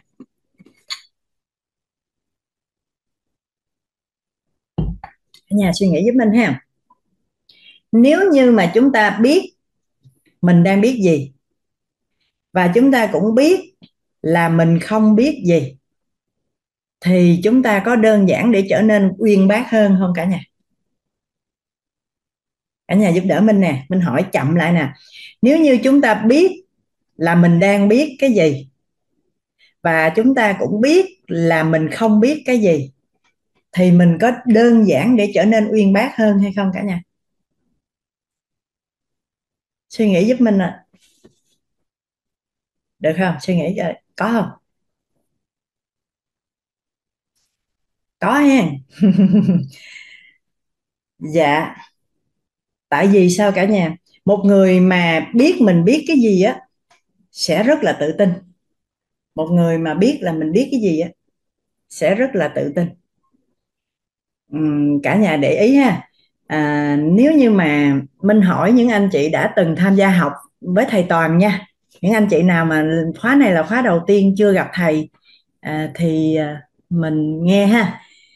Các anh chị đã từng tham gia học tập thì các anh chị thấy thầy tự tin không? Các anh chị thấy thầy toàn tự tin không? Tự tin đúng không? Nhiều người đánh giá là thầy rất là tự tin đúng không? Dạ. Rồi vì mình thấy thầy tự tin, cái mình nghĩ là chắc là thầy biết rất là nhiều thứ trên đời. Có phải không? Cái gì thầy cũng biết hả? Tức là mình thấy thầy rất tự tin nên mình suy nghĩ là chắc là thầy biết nhiều thứ, đúng không? Đó, nhiều người suy nghĩ giống vậy kìa. Thầy biết, chắc thầy biết nhiều thứ lắm nên thầy tự tin. Dạ không phải. Mình nghe thầy chia sẻ như thế này nè cả nhà mình đã nghe thầy chia sẻ như thế này. Thầy nói không phải là là toàn biết nhiều mà tự tin đâu. Mà là thầy được cao nhân chỉ điểm. Thầy biết là thầy biết cái gì nên mới tự tin. Bởi vì sao? Bởi vì khi nói chuyện giao lưu như thế này nè cả nhà thì bất cứ là à, nghe người khác nói cái gì hỏi cái gì thì mình biết cái người ta đang hỏi, đang nói đó, mình biết là mình biết, thì sao ạ? À? rất là tự tin để trả lời. Còn nếu mà mình biết là mình không biết, thì sao? Thì mình nói mình không biết. Để ý lâu lâu hỏi thầy, cái thầy nói không biết không không biết, thì nói không biết. Nhưng nếu mà các anh chị cho cơ hội để thầy chuyển cái đó thành cái biết, một khóa hai, khóa sau vô hỏi lại thầy biết không? Biết. Và đã chuyển cái cái mình biết là mình không biết á, thành cái biết. Cứ lần lượt như vậy mà làm, cứ lần lượt như vậy mà làm thì từ từ cái biết biết của mình á, nó sẽ nhiều lên. Cho nên mình đơn giản để trở nên uyên bác. Nếu như mình chính xác biết mình biết cái gì và mình biết là mình không biết cái gì. Và cuộc đời này rất quan trọng nghe cả nhà. Mình biết mình biết cái gì á, rất quan trọng. Bởi vì khi đó mình rất tự tin. Và thầy nói, toàn biết có mấy chữ à? Không biết có mấy chữ à. Để ờ, thấu hiểu nhân sinh đó cả nhà, thì có 72 chữ thôi, có 72 từ thôi, có 72 cái khái niệm và cái từ cần biết thôi. Rồi đó, nghe con số đó, các anh chị thấy 72 từ thì mình ổn không? Cả nhà nè, cả nhà chia sẻ cho mình đi. Để thấu hiểu về nhân sinh đó, tức là để nói chuyện về nội tâm nè thì chỉ cần thấu hiểu 72 cái khái niệm. Mình biết là mình biết 72 khái niệm về nội tâm như vậy, về nhân sinh như vậy, thì sao? Tự tin không? Tự tin. Còn ngoài 72 cái mình biết thì sao? Mình nói mình không biết. Rồi cho cơ hội mình tìm hiểu để biết. Thì được không? Được cho nên nhiều khi đâu phải tất cả mọi thứ mình đều biết cả nhà. Lâu lâu á, mấy các anh chị có con á, lâu lâu các anh chị nghe con các anh chị hỏi một cái mình biết không? Mình chắc chắn là mình biết hết không không biết. Nhiều khi hỏi tên của mấy Pokemon á, mình đâu có biết. Thì mình tự tin, tại vì mình biết đó là mình không biết rồi. Mình tự tin trả lời là không biết. Nhưng mà cái đó có quan trọng không? Có đặc biệt và có cần thiết để biết không? Nếu cần thiết à, thì để ba thì để mẹ tìm hiểu cho hoặc là để chỉ cho con cái cách tìm hiểu. Thì hiện giờ mình search Google mình search AI thì các phương tiện công cụ này sẽ hỗ trợ chúng ta biết những cái điều đó đơn giản mà. 72 phép màu cũng đủ tôn ngộ không đại náo thiên cung hả? Nhưng mà các anh chị tưởng đâu là là biết nhiều lắm hả? Thì đó biết 72 khái niệm thôi là đủ rồi và thầy nói là thầy chỉ biết những gì thầy biết thôi chứ thầy không có biết nhiều. Rồi khi mà học tập ừ, giao tiếp với à, các anh chị trong lớp nội tâm nè các anh chị sẽ có nhiều cái biết các anh chị nói. Sau đó à, có cơ hội thì sao? Chuyển thành tìm hiểu để chuyển thành cái biết của mình. Và mình cũng có phước báo á cả nhà. Mình cũng có phước báo là khi đầu tiên mở lớp thấu hiểu nội tâm là thầy cho minh cơ hội làm MC nên các anh chị cứ hay hỏi là làm sao để nói chuyện tự tin như cô Minh làm sao để ai hỏi cái gì cũng trả lời được như cô Minh. Thì các anh chị có nghi vấn đó là được rồi đó. Tại vì các anh chị sẽ có cơ hội ngộ và sẽ chuyển hóa để trở thành giống như vậy. Tại vì sao? Thầy đã chỉ điểm cho minh cái điều mà thầy làm được. Thầy nói bây giờ cần biết những gì mình biết thôi. Rồi lên á à, ai hỏi mà mình biết thì mình trả lời. Mình không biết thì mình nói mình không biết nếu chuyện này rất quan trọng rất cần thiết thì cho cơ hội đi. Buổi mai buổi mốt gì đó mình trả lời cho. Được không cả nhà? Vậy thì được thôi có gì đâu. Thế là buổi mai buổi mốt à, mình sẽ tìm hiểu để trả lời cho cả nhà những câu mà hôm nay mình không biết. Nếu mà gọi là may mắn nữa hỏi một cái thầy trả lời luôn thì ngon.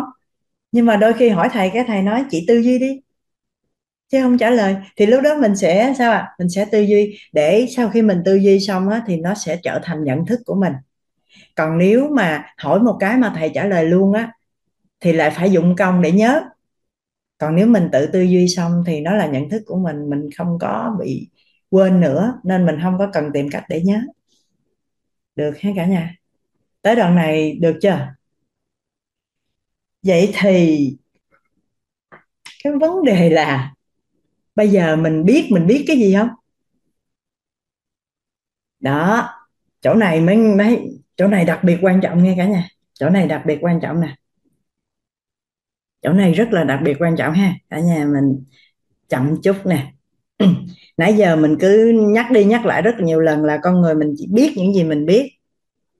Nhưng mà có những cái mình không có dùng nữa, nó không có quan trọng nữa nên mình quên mất đi rồi thì những cái quên thì thôi không bàn nữa ha. Tại vì không quan trọng nên mình mới quên. Mình không có dùng thường á thì mình quên. Rồi mình biết là mình không biết mà tới bây giờ mình cũng vẫn không biết có nghĩa là nó không cần thiết cho cuộc đời của mình nên mình mới không biết. Tại vì nếu nó cần thiết thì sao? Lập tức phải biết chứ không biết đâu được. Đúng không? Mấy chị em phụ nữ nè à, có ai có trường hợp này không? Mình không có biết nấu ăn gì cả không biết giặt giũ gì cả nhưng mà bây giờ mình yêu một người và mình muốn kết hôn. Sau mình kết hôn rồi á, thì để cho hôn nhân hạnh phúc thì mình cần phải biết nấu ăn ít nhất một vài món mà chồng mình thích. Chuyện này cần thiết không? Nếu người phụ nữ thấy cần thiết thì sẽ biết nấu ăn. Còn thấy không cần thiết thì tiếp tục không biết. Mà vẫn biết là mình không biết luôn á nha. Được chưa? Đúng đúng không? Đúng. Tại vì không quan trọng nữa thì mình sẽ quên. Mà không cần thiết thì mình không cần biết vậy thì chỉ còn mỗi cái dòng biết biết này thôi. Giờ chúng ta chốt lại với nhau nè.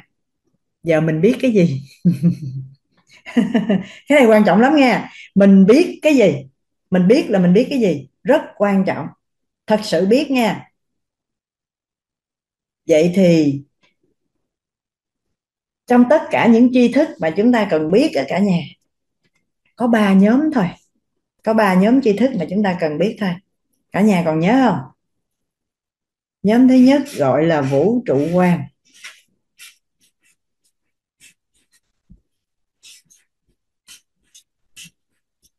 nhóm thứ nhất là vũ trụ quan nhóm thứ hai là thế giới quan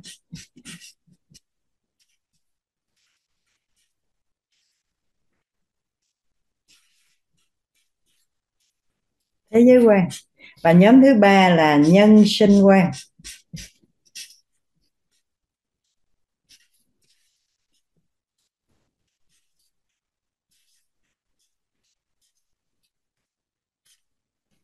chỉ có ba nhóm tri thức này thôi cả nhà. Chỉ có ba nhóm tri thức này thôi. Đó là vũ trụ quan, thế giới quan và nhân sinh quan. Được chưa? Mình từ từ vậy thôi ha. Từ từ thôi.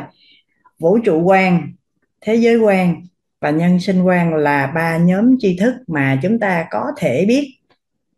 Vậy thì nhóm thứ nhất là vũ trụ quan. Vũ trụ quan là gì cả nhà? Vũ trụ quan là những cái tri thức gì?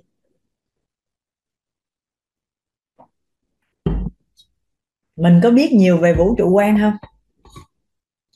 À dạ là tôn giáo tín ngưỡng ha. Vũ trụ quan á, cả nhà, là những cái gì ẩn phía sau con người, là những gì mà sau khi con người mất thân á, sau khi chết rồi đi về đâu á. Có đi đầu thai không? Có ở thiên đường hay ở địa ngục hay ở cõi nào? Những cái mà những cái mà ẩn phía sau á sau khi con người chết á hoặc là à, đang đang sống cùng với con người của chúng ta hiện nay nè thì có những cái loài vô hình nào hay không? Đó tất cả những cái tri thức đó thuộc về thế, vũ trụ quan. Mà vũ trụ quan thì như mình nói từ đầu rồi chúng ta sẽ không có nói nhiều trong cái lộ trình này. Đây là những cái tri thức mà chúng ta có thể tìm hiểu ở tôn giáo tín ngưỡng. Ha chúng ta sẽ không đề cập ở đây. Nên nếu anh chị nào có cái biết về vũ trụ quan thì mình biết thôi nhưng mà cũng sẽ không đề cập ở đây nhiều. Cái thứ hai là thế giới quan hầu như hiện nay à, chúng ta sẽ có rất nhiều cái biết về thế giới quan cả nhà.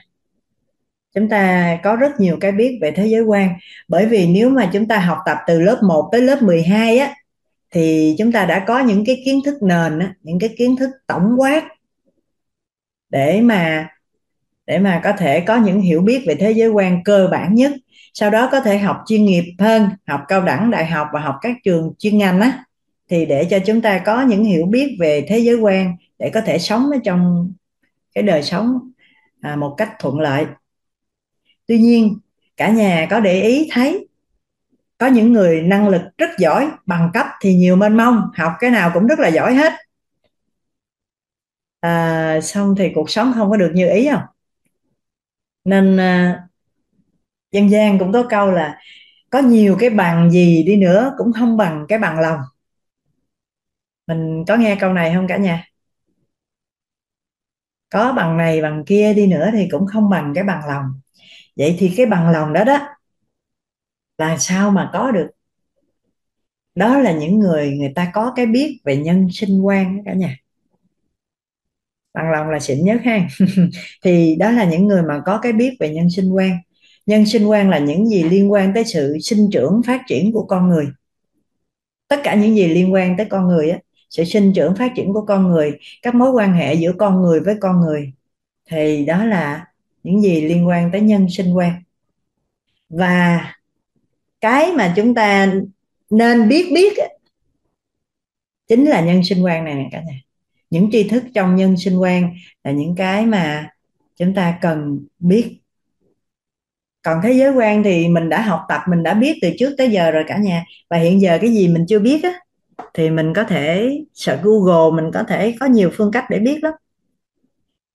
Dạ. Chỉ có nhân sinh quan á, thì chúng ta rà soát coi chúng ta đã biết được bao nhiêu rồi. Chúng ta đã biết được bao nhiêu rồi.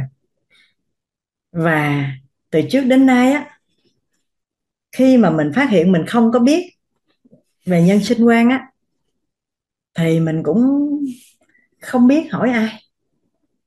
Đúng không? Bây giờ bây giờ cả nhà nè mình à, cả nhà cùng suy nghĩ và tự có câu trả lời giúp mình ha.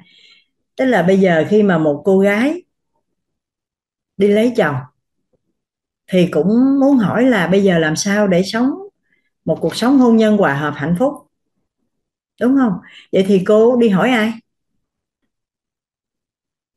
Một cô gái đi lấy chồng á mà muốn cái cuộc sống của mình trong khi mình kết hôn á muốn có cuộc sống hôn nhân hòa hợp hạnh phúc thì mình sẽ hỏi ai ạ? À, mình hỏi ba hỏi mẹ. May mắn mà ba mẹ có cuộc sống hôn nhân hòa hợp hạnh phúc thì biết làm sao thì chỉ như vậy. Đúng không? Rồi cũng tìm sách để đọc, rồi cũng xem phương tiện này kia kia nọ. Thì cũng biết ở một cái góc độ nào đó thôi, chứ giờ cũng không biết chính xác là hỏi ai. Và có những người có hôn nhân hòa hợp hạnh phúc, người ta cũng không biết chỉ sao nữa cả nhà. Có không? Có không? Có người, mình thấy người ta hạnh phúc đó, bây giờ mình hỏi sao mà được vậy? Người ta cũng không biết sao nữa thì lấy chồng sống cái tự nhiên vậy à chắc hơn á. cho nên đó là những cái những cái tri thức về nhân sinh quan. Đi hỏi người chuyên gia lĩnh vực này hả? Nhân sinh quan thì đâu có chuyên gia gì đâu. Ví dụ như bây giờ là thầy toàn mới có những cái lớp để chia sẻ nè, mà người thân của chúng ta còn hỏi học cái gì vậy? Trường nào vậy? Cái lớp gì? Kỳ cục vậy? Tên gì? Nó đâu có chuyên ngành gì đâu cả nhà. Trong hệ thống giáo dục của chúng ta cũng đâu có cái chuyên ngành tên là nhân sinh quan đâu. Đúng không? Đó rồi một à, rồi một chàng trai khi mà trưởng thành lên bắt đầu đi lập nghiệp sẽ hỏi làm sao để thành công. Rồi hỏi ai?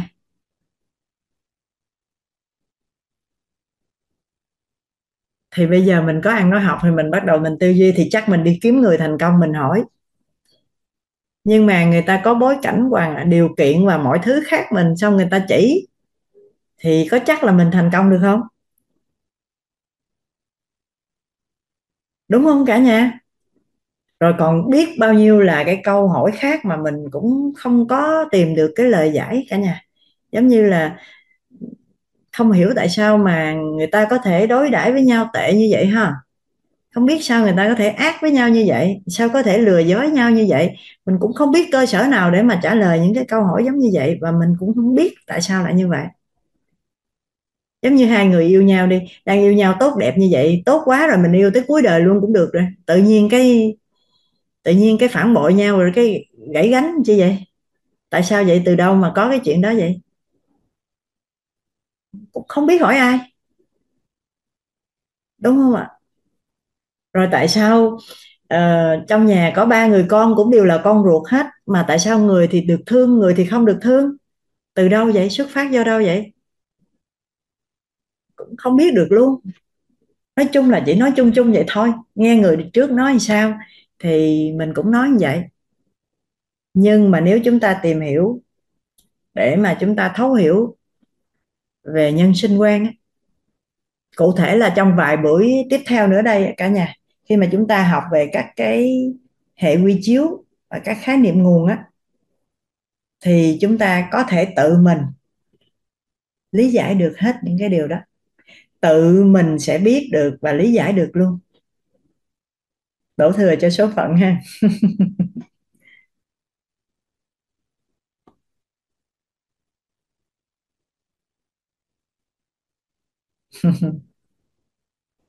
Đó, thì mình mình chiêm nghiệm lại coi có, cả nhà có thấy, có phải như vậy không? Có những gì mà liên quan tới nhân sinh, liên quan tới đời sống của con người, có đôi khi chúng ta muốn hỏi cũng không biết hỏi ai và đôi khi chúng ta thấy có người có cái hiện thực như vậy rồi. Nhưng mà người ta cũng không biết chỉ như thế nào cho mình luôn. Do vậy, cái việc cấp bách của chúng ta là mở rộng tri thức nhân sinh cả nhà. Ha, cái việc cấp bách là chúng ta cần mở rộng tri thức nhân sinh. Cả nhà có muốn ghi chú lại thì ghi ha. Việc cấp bách của chúng ta hiện nay là cần mở rộng tri thức nhân sinh cần mở rộng tri thức nhân sinh. Việc cấp bách là chúng ta cần mở rộng tri thức về nhân sinh, tức là nhân sinh quan này đó cả nhà. Rồi, bây giờ cả nhà, mình còn nhớ là khi mà chúng ta ngộ một cái điều gì đó thì sẽ có ba cách.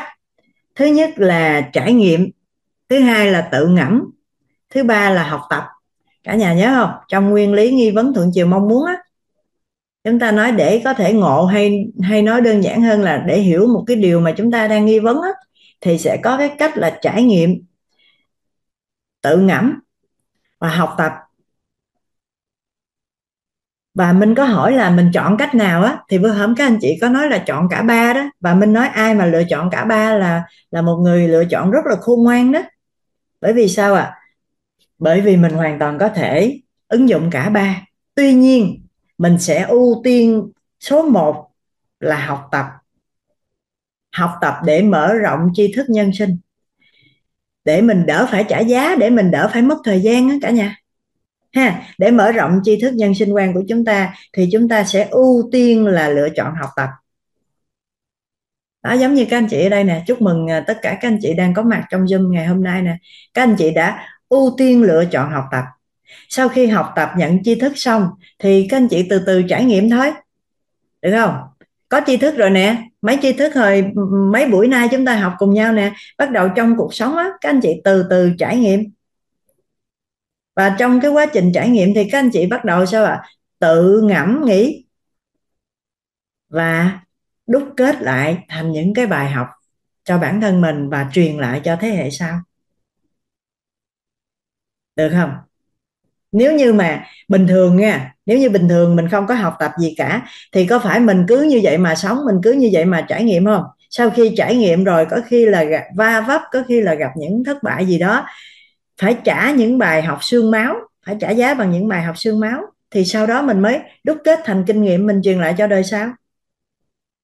Đó, nếu là đi con đường trải nghiệm là vậy. Còn nếu như tự ngẫm mà biết được á, thì cuộc đời này ít lắm cả nhà.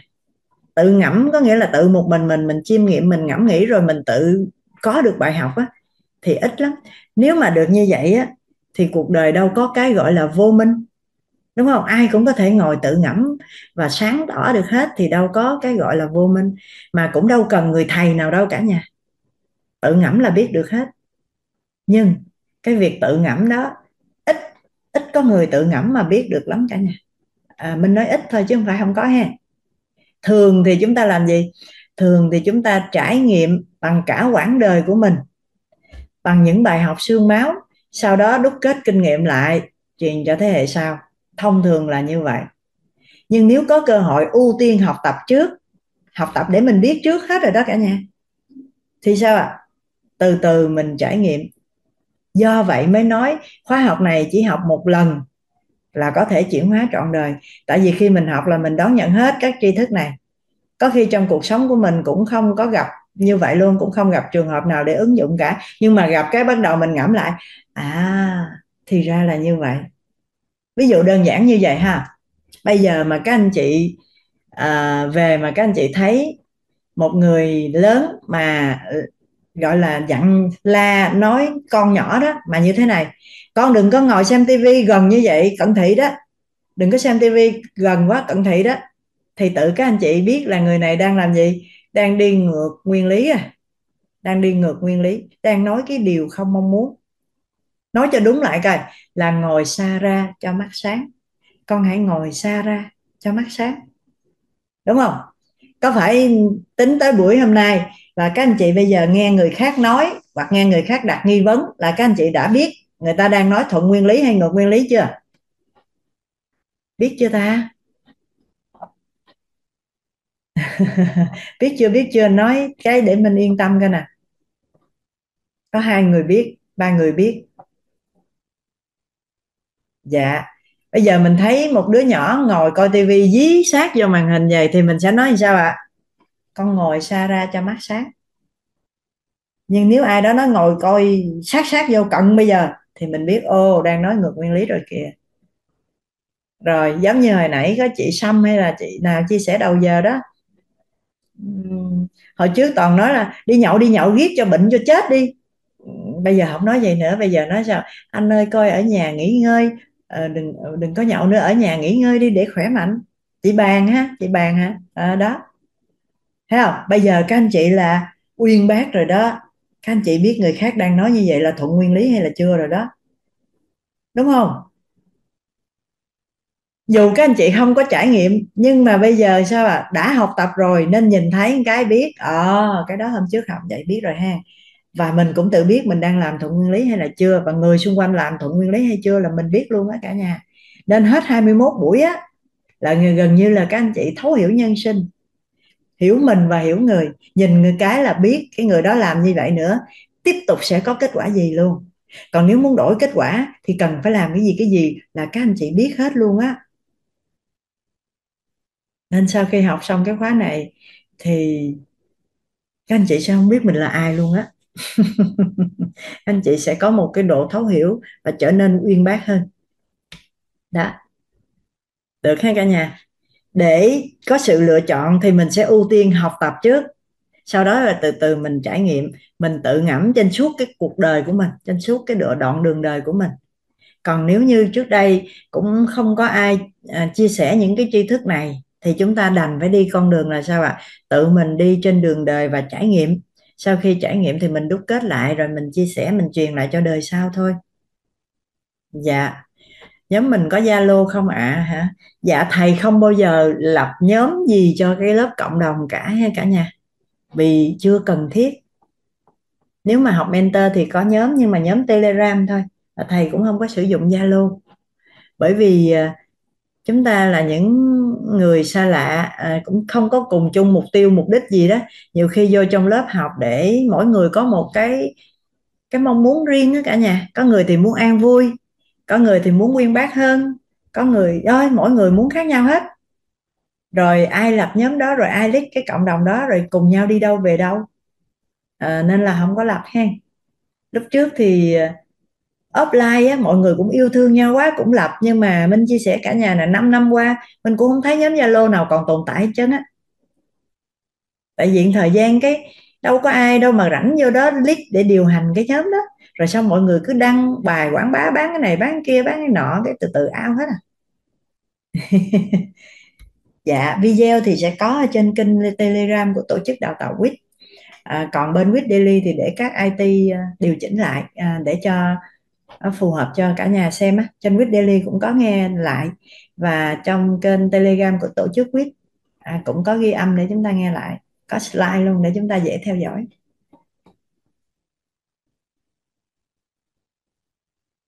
Quên bác nghĩa sâu hơn là sao cô là sao? Em chưa họ chưa hiểu chị Tiffany nói nói cái gì á? Quên bác nghĩa sâu hơn là sao? Uyên bác các chị. Uyên bác dạ. Uyên uyên đúng rồi uyên bác. À, à tiếng miền Tây nên làm cho chị nghe không hiểu đúng không? Có nhiều anh chị chia sẻ nói trời ơi không dám hỏi mà cả tháng sau mới biết cái chữ đang nói là chữ gì. Tại nói tiếng miền Tây á. Dạ. Uyên bác thì một hai bữa nữa trong phần trí tuệ á chúng ta sẽ làm rõ cùng với nhau luôn. Phân biệt rõ ràng luôn à, từng cái khái niệm như vậy đó cả nhà. Thì cả nhà cũng đang từng bước nhận 72 cái khái niệm đó. Thì các anh chị cứ ghi chép đi ghi chép cẩn thận rồi từ từ tổng kết lại coi sao hết khóa này các anh chị được bao nhiêu chữ. Ví dụ như uyên bác là mình tính. Thật ra là từ đó cả nhà uyên bác là một từ. Dạ trước thì em không nghe được chữ ờ, vi tế ha cứ ghi là bi tế hả? Người này có ở bên nhật không mà âm v với âm b bị lẫn mà à, bên nhật thì v với b là thành thành một chữ đó. With daily là trên cái app á cả nhà. App with daily. Nó giống như trên app apple store có cái app á. Mình cứ quýnh mình cứ đánh with daily thì nó sẽ hiện ra. Mình tải về thôi. Đó là cái app. Dạ. Tới đây được chưa cả nhà? Thế đây là chúng ta biết nè, tri thức của con người thì nó chia ra làm ba nhóm, là tri thức về vũ trụ quan về thế giới quan và về nhân sinh quan vũ trụ quan thì chúng ta tìm hiểu những gì liên quan tới tôn giáo tín ngưỡng đó, thì quýt không có chia sẻ này thế giới quan thì chúng ta học tập từ từ đó tới giờ, nhiều lắm rồi, nên cũng không chia sẻ ở đây. Chúng ta sẽ tự tìm hiểu thêm. Nhân sinh quan thì chúng ta đang cùng nhau làm rõ từng ngày này cả nhà. Chúng ta đang cùng nhau làm rõ từng ngày từng ngày và trong nhân sinh quan này thì chúng ta ưu tiên cấp bách mở rộng tri thức nhân sinh quan bằng cách là chúng ta học tập, sau đó thì trải nghiệm, song song với trải nghiệm thì chúng ta cũng có thể tự ngẫm. Bởi vì nhiều khi mình đâu có đụng chạm cái trường hợp đó đâu mà trải nghiệm, thì mình có thể tự ngẫm. Ha, mình ứng dụng cả ba cách đó để mà mình tăng thêm cái hiểu biết của mình đó cả nhà. Tới đây thì được ha. Giống như đơn giản như thế này nè ừ, bây giờ làm sao để tăng cái hiểu biết đó rồi từ từ để nó trở thành của chúng ta đó. Thì à, cả nhà thấy cũng đơn giản lắm. Ê, mình chia sẻ nè. Nó sẽ dựa trên những cái biết nè. Nó sẽ dựa trên những cái biết. Rồi mới tới hiểu nè. Rồi tới thấu suốt.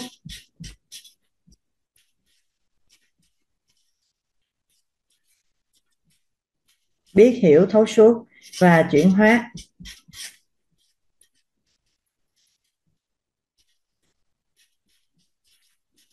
Biết hiểu thấu suốt, chuyển hóa.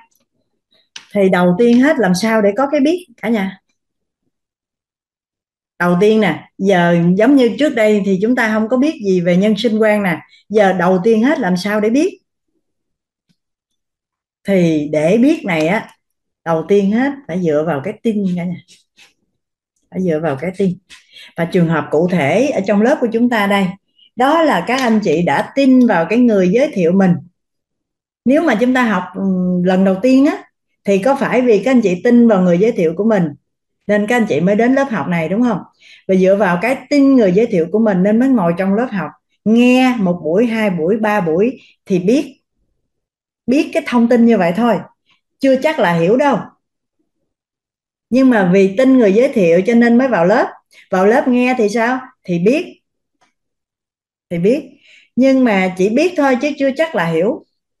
Nhưng nếu không tin đó cả nhà, thì không có biết luôn. Cả nhà đồng ý với mình không nè? Có những người được giới thiệu, nhưng mà vì không tin, nên đâu có vô trong lớp, nên không có không có biết cái thông tin gì hết luôn. Đúng chưa?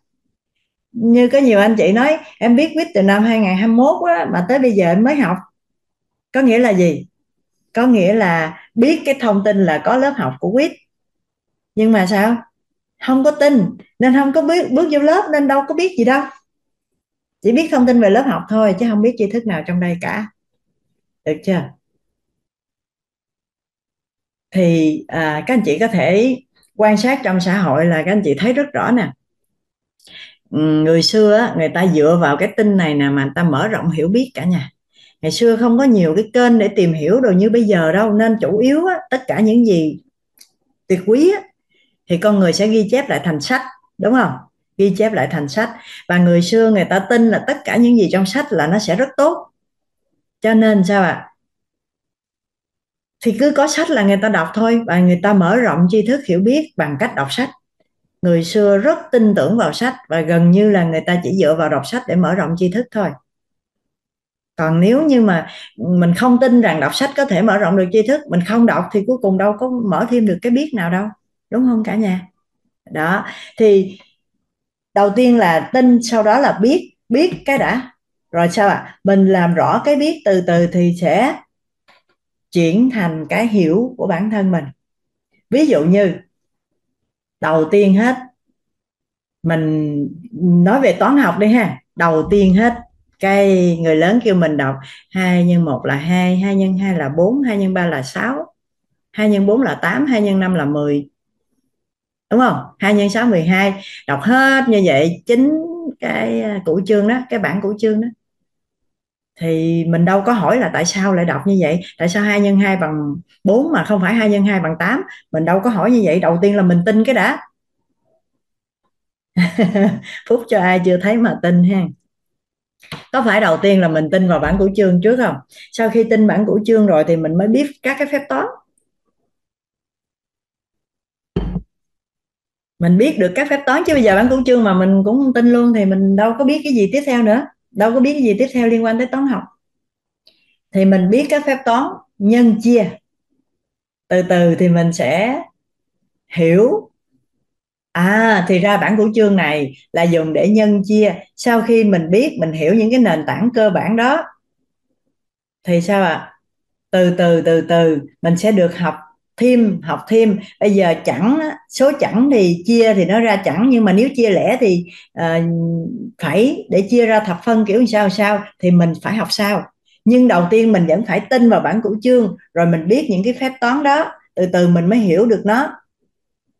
Sau khi hiểu được rồi thì mới đi sang các cái bậc tiếp theo là mình mới bắt đầu nghi vấn. Cái chỗ này mình hiểu rồi là coi như nó chuyển thành cái biết biết của mình nghe cả nhà nha. Trên này là mình biết thông tin thôi, nhưng sau khi mình hiểu thì nó thành cái biết mà mình biết á. Được không? Nó bắt đầu vô cái dòng này nè cả nhà. Đây.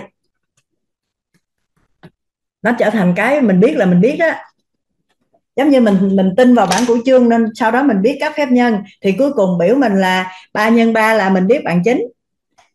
Từ từ mình hiểu được hết những cái điều đó, nó chuyển thành cái biết của mình. Thì mình kêu mình ba nhân 12 mình vẫn biết mà cả nhà đúng rồi, cái hiểu đó, dựa trên cái mà mình biết đó. Và nó trở thành cái biết biết của mình. Đúng không? Ban đầu đọc ba ba là chính, nhưng mà sau này mà khi mình hiểu rồi, nó chuyển thành cái biết của mình rồi, thì mình sẽ biết được cái cách là ba nhân cho 12 bằng mấy mình vẫn biết luôn. Nhưng nếu ban đầu không tin thì thì không có những cái biết đó sau này. Đó. Vậy thì khi mà mình, nó đã trở thành cái biết biết của mình mà mình muốn thấu suốt sâu hơn nữa thì lúc bây giờ mình lại phải đặt ra nghi vấn. Phải có nghi vấn. Thì mới thấu suốt. Còn nếu không là sao à chỉ dừng tới chỗ này thôi. Chỉ dừng tới chỗ hiểu thôi, không có thấu suốt. Phải có nghi vấn. Thì quay trở lại cái nguyên lý nghi vấn thuận chiều mong muốn. Mỗi lần đặt ra nghi vấn, cả nhà phải nhớ là phải dựa trên mong muốn của bản thân, phải thuận theo mong muốn của bản thân thì mới là nghi vấn tích cực mọi cái sự thấu suốt đều dựa trên nghi vấn. Do vậy, nếu chúng ta bước vào lớp học này, chúng ta hoàn toàn không có bất cứ một nghi vấn gì hết. Chỉ vì chúng ta tin người giới thiệu, chúng ta vào đây thì chúng ta biết một số tri thức thôi. Và nếu được làm rõ hơn nữa thì chúng ta sẽ hiểu thêm một số tri thức nữa. Còn thấu suốt là sẽ không có thấu suốt, bởi vì hoàn toàn không có nghi vấn gì hết. Ví dụ như đầu buổi, mình nghe rất nhiều anh chị có cái nghi vấn là làm sao để đạt được bảy sự giàu toàn diện cái người có nghi vấn đó cả nhà đến một ngày sẽ thấu suốt được à, bảy sự giàu toàn diện là có giàu trí tuệ giàu tâm thái giàu nhân cách giàu phẩm chất giàu năng lực giàu thể chất giàu vật chất. Đầu tiên là biết có bảy sự giàu toàn diện gọi tên nó được. Sau đó mới biết là à giàu trí tuệ thì có 5 tầng bậc trí tuệ. Bậc một là như thế nào bậc hai như thế nào bậc 3 bậc 4 bậc 5 như thế nào. Giàu tâm thái thì có ba tâm thái quan trọng của đời người làm sao để an vui, bao dung, trân trọng biết ơn. Nhân cách thì có chín nhân cách kiện toàn, phẩm chất thì có năm, phẩm chất ưu tú. Năng lực thì có năng lực quan niệm, năng lực quan hệ xã hội và năng lực chuyên môn. Thể chất thì có thể, sức khỏe về thể chất tinh thần và xã hội nữa. Rồi, vật chất thì sẽ có công thức làm giàu vật chất. Từng bước từng bước một, vì cái nghi vấn đó mà thấu suốt toàn bộ. Đúng không? Thì thấu suốt thôi. Chỉ có thấu suốt thôi. Rồi làm sao mới chuyển hóa? Phải có mong muốn cả nhà. Nghi vấn như vậy thôi, rồi làm rõ xong cái cũng không muốn gì nữa thì hết. Nhưng mà có mong muốn thì sao? Sẽ chuyển hóa. Chuyển hóa là dựa trên mong muốn nha cả nhà. Chuyển hóa là dựa trên mong muốn. Chuyển hóa là dựa trên mong muốn.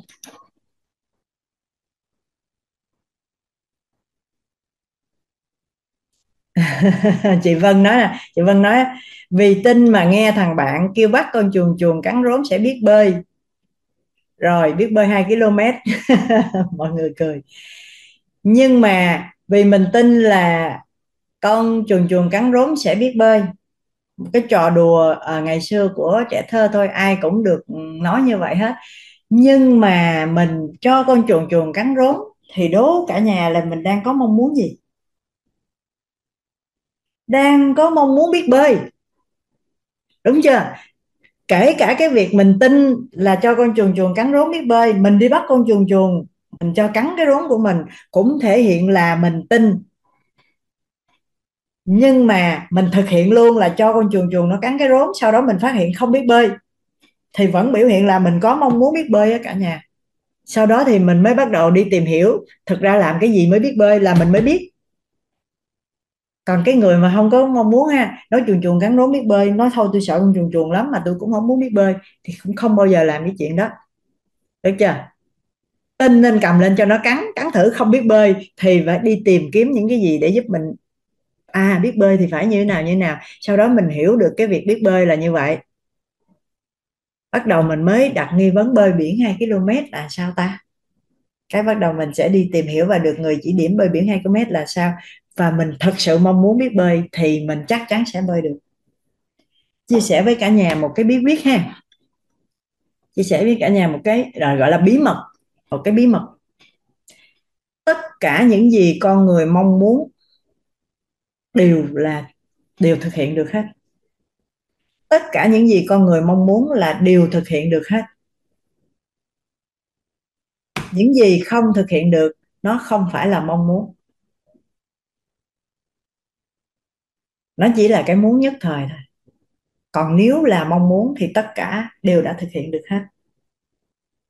Rồi, mình gà sót lại trong cuộc sống của mình coi có phải như vậy không? Có phải bất cứ những cái gì mình thật sự muốn mình đều đã đạt được hết rồi không?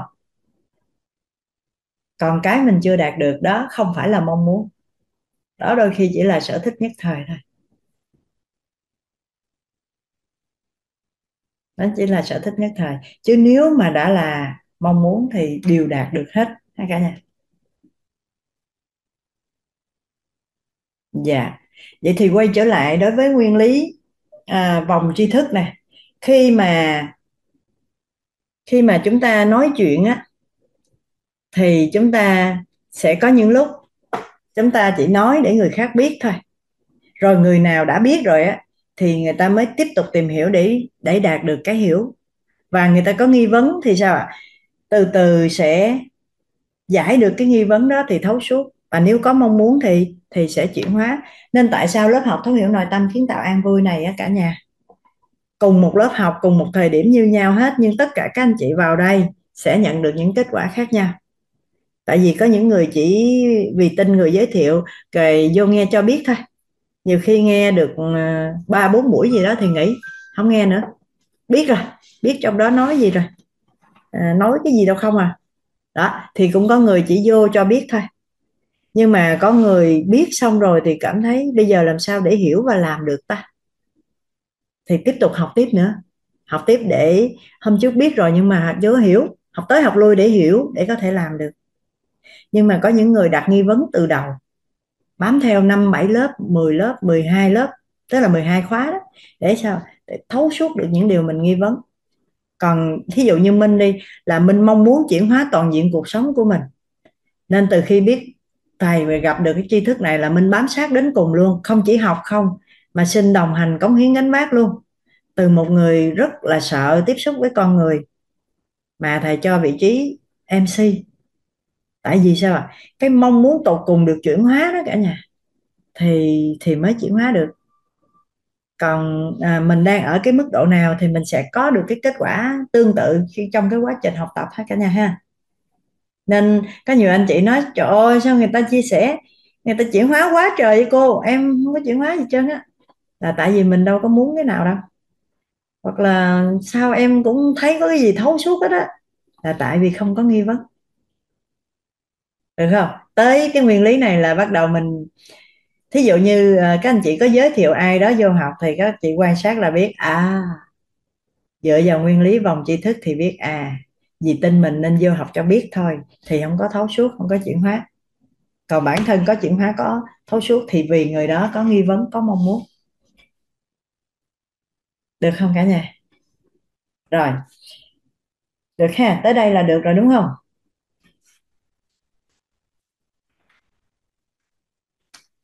Thường thầy sẽ nói vậy nè hiểu không cả nhà cái mọi người đánh lên là hiểu hiểu cái thầy hỏi hiểu làm sao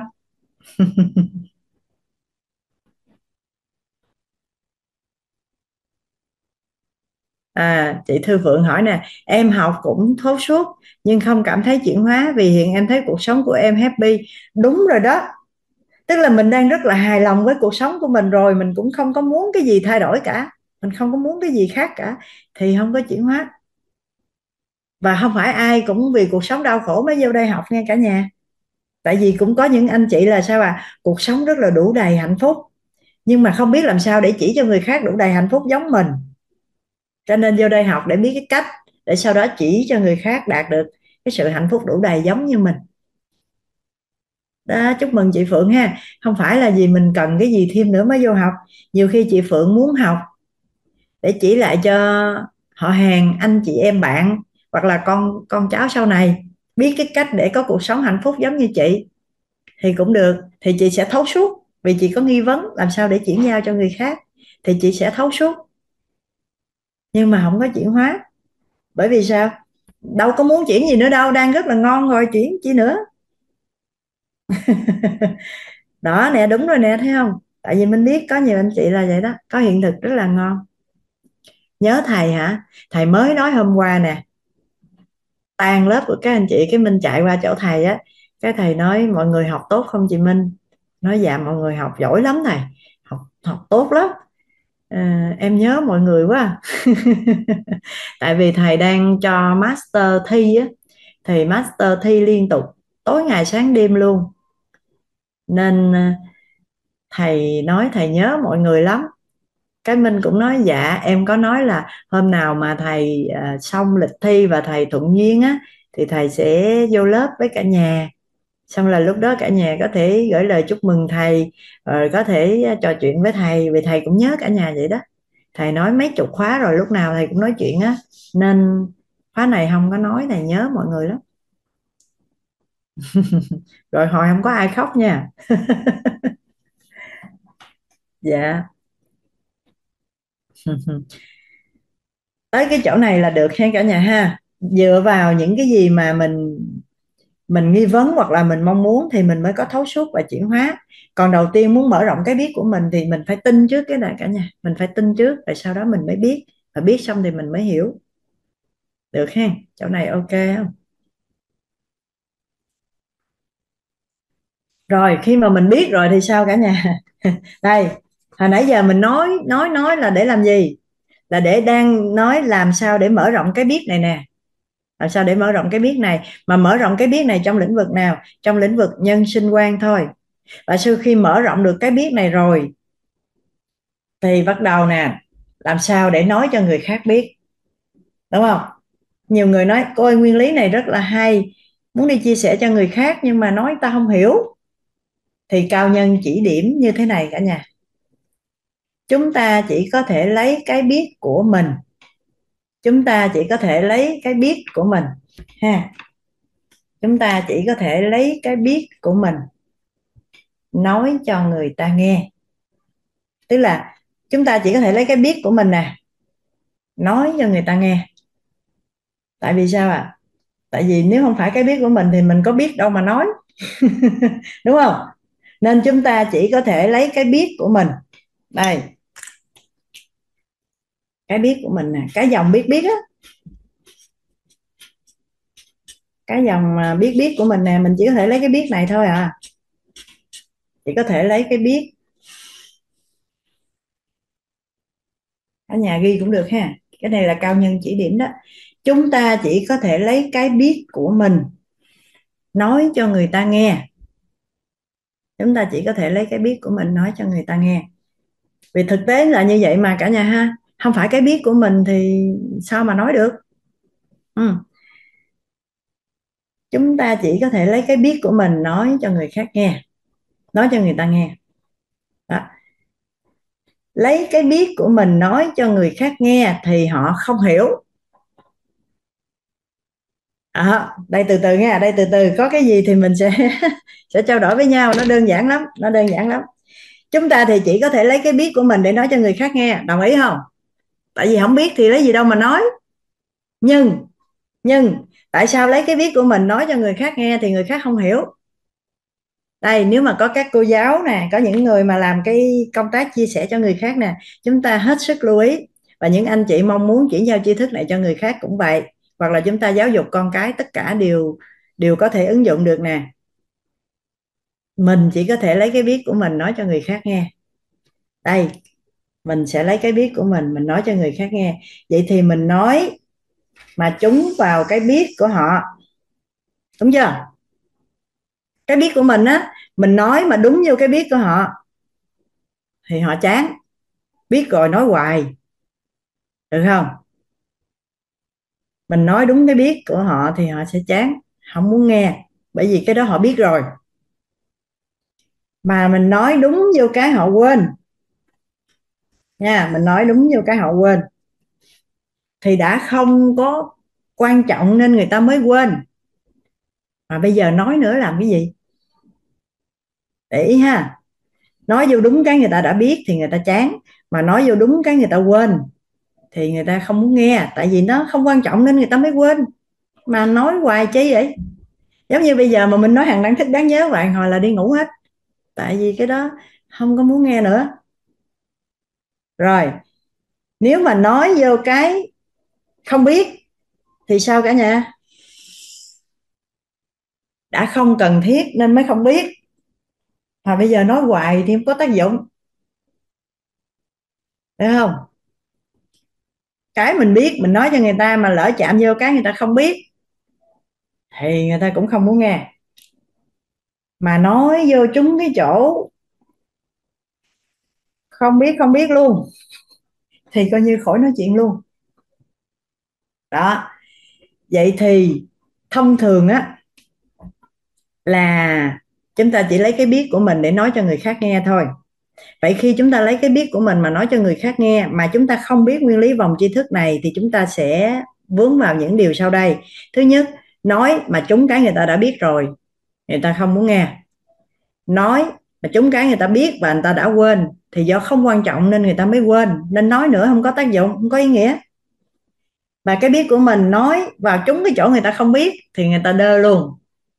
Không thèm nghe luôn. Mà nói chúng cái không biết không biết thì không có biết mình đang nói gì luôn. Vậy thì sẽ không có hiệu quả trong quá trình nói chuyện và nếu chúng ta ngồi nhớ lại, chúng ta thấy có những thầy cô dạy học cho chúng ta. Thầy cô nói quá, trời quá đất nói nói cái gì thì nói, mình không biết cái gì luôn. Có không? Và ai đó đang làm giáo viên, cảm thấy sao học trò của mình bị gì ta? Cái này nói, nó đơn giản vậy mà nói hoài, không biết. Thì thực ra mình đang nói vô cái dùng mà học sinh không biết. Nên làm sao mà biết được? Vậy ứng dụng nguyên lý này làm sao cho ngon? Nguyên lý này mình ứng dụng sao cho ngon cả nhà? Đầu tiên hết là mình cần phải lấy cái biết của người nghe trước. Mình cần phải lấy cái biết của người nghe trước ha cả nhà. Cần phải lấy cái biết của người nghe trước.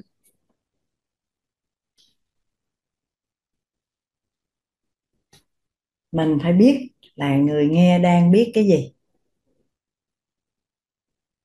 sau đó, mình nói dựa trên cái biết của họ. Mình nói dựa trên cái biết của họ. Từ từ, mình sẽ gợi ra để nói tới những cái họ biết mà họ quên, nhưng mà họ cần nhớ lại để đưa vào cái biết. Được không? Mình mình đã lấy được cái biết là mình biết người ta biết gì rồi. Và mình biết người ta biết nhưng mà đã quên cái gì rồi và người ta sẽ cần đưa vào trong cái biết lại. Thì lúc đó mình nói người ta sẽ nghe.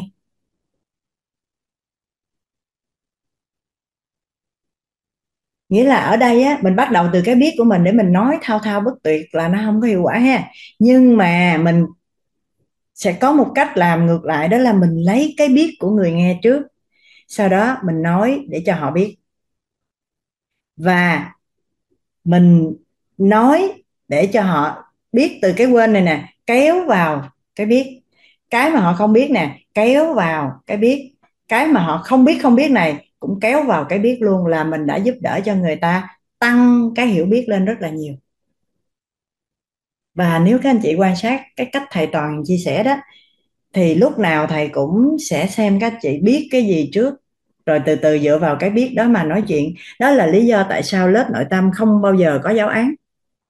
Không có giáo án, không phải là không có giáo án, mà là tùy theo lớp học này, mong muốn học cái gì.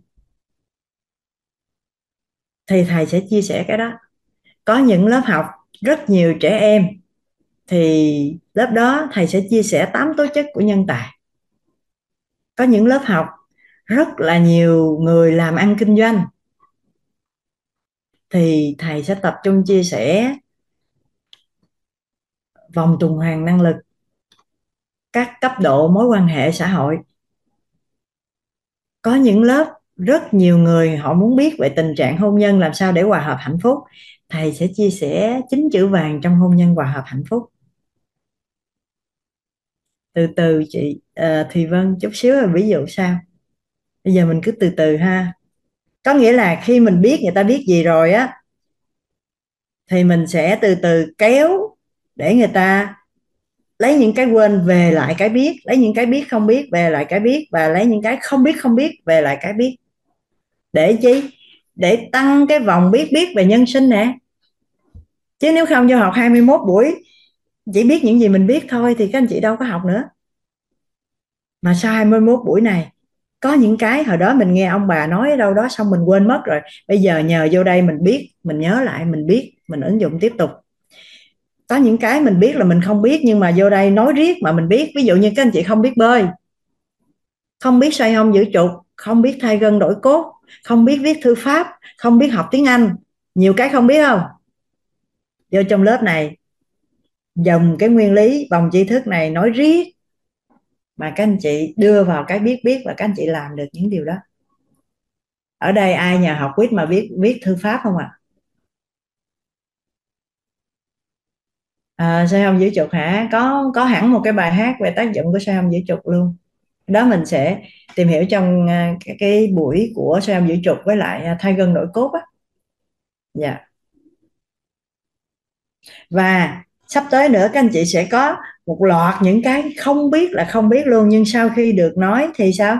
Thì đưa vào cái vòng biết biết. Và nếu các anh chị có nghi vấn và có mong muốn nữa thì sẽ có sự thấu suốt và chuyển hóa. Đó. Tức là nói chạm tới cái không biết không biết để kéo về cái biết. Được ha cả nhà. Có nghĩa là mình không phải lấy cái biết của mình để nói. Bởi vì nếu mình lấy cái biết của mình để mình nói á chúng cái biết của người ta thì người ta chán.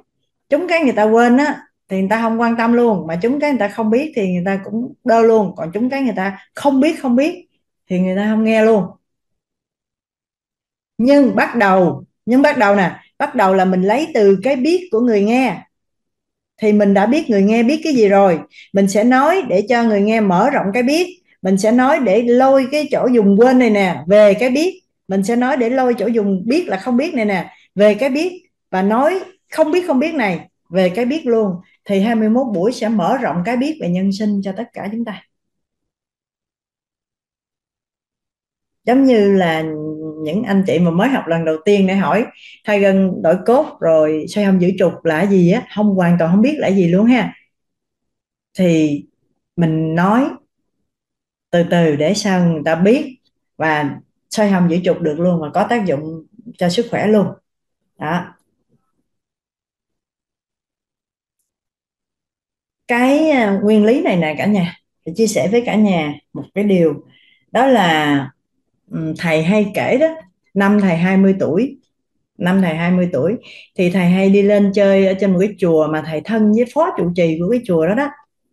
Thì có một lần thầy lên chơi thì thầy thấy à, sư huynh trụ trì của của ông phó trụ trì á à, ổng thường thì không có ở chùa nhưng mà bởi lần đó thầy lên thì thầy gặp.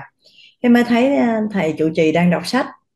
Cái thầy cũng tới thầy nói chuyện làm quen vậy đó. Thầy thì thích kết giao với những người mà những những bậc hiền triết những người thiện tri thức rồi đó. Cái thầy làm quen nói chuyện thấy ông thầy cũng đọc sách. Cái à, thì cũng ông thầy đó ông mới nói là thấy tôi đọc sách vậy thôi. Chứ thực ra đọc xong là tôi không có nhớ tôi xóa não hết à? Thì thầy thầy toàn á mới nói là lúc đó là học siêu trí nhớ nè học đọc sách nhanh mà tuổi cũng trẻ nữa. Nghe ông thầy cũng đọc sách xong không nhớ gì hết nên thao thao bất tuyệt chỉ. Chỉ cái cách làm sao để nhớ chỉ cái cách làm sao để đọc sách để nhớ chứ đọc mà quên đọc chi. Thì thầy trụ trì mới nói là thật ra là cố ý á, thật ra là muốn xóa não đi á đọc xong không có không có nhớ nữa bởi vì những người mà đến để nghe thầy thuyết pháp á, để nghe thầy nói chuyện á, thì rất là nhiều tầng lớp khác nhau. Có người thì học cao có người thì học ít thậm chí có người không biết chữ nữa. Nếu đọc sách xong mà nhớ á, rồi người ta đến thì mình chỉ nói cái mình biết thôi. Mà lấy cái mình biết nói cho người khác nghe thì họ không hiểu. Lấy cái mình biết nói cho người khác nghe thì họ không hiểu. Lấy cái biết của họ nói cho họ biết thì họ mới hiểu lấy cái biết của họ, nói cho họ biết thì họ mới hiểu. Thì thầy toàn nói, lúc nghe như vậy thì thấy hay. Thấy hay nên để tâm. Tiếp tục tìm hiểu. Và thầy nói thầy cũng mất rất là nhiều năm tháng để giải cái cái câu nói của sư trụ trì á cả nhà. Tức là lấy cái biết của mình mà nói cho người khác nghe thì người khác không hiểu. Mà lấy cái biết của họ, nói cho họ biết thì họ mới hiểu và thầy cũng tìm tòi để giải cái câu này trong khoảng 9 năm. Thầy chia sẻ là thầy giải trong khoảng 9 năm thì mới phát hiện ra một nguyên lý cực kỳ quan trọng và tên là nguyên lý vòng tri thức. Để cho tất cả chúng ta đều biết rằng mọi con người có bốn vòng tri thức, đó là biết biết biết rồi quên, biết không biết và không biết không biết.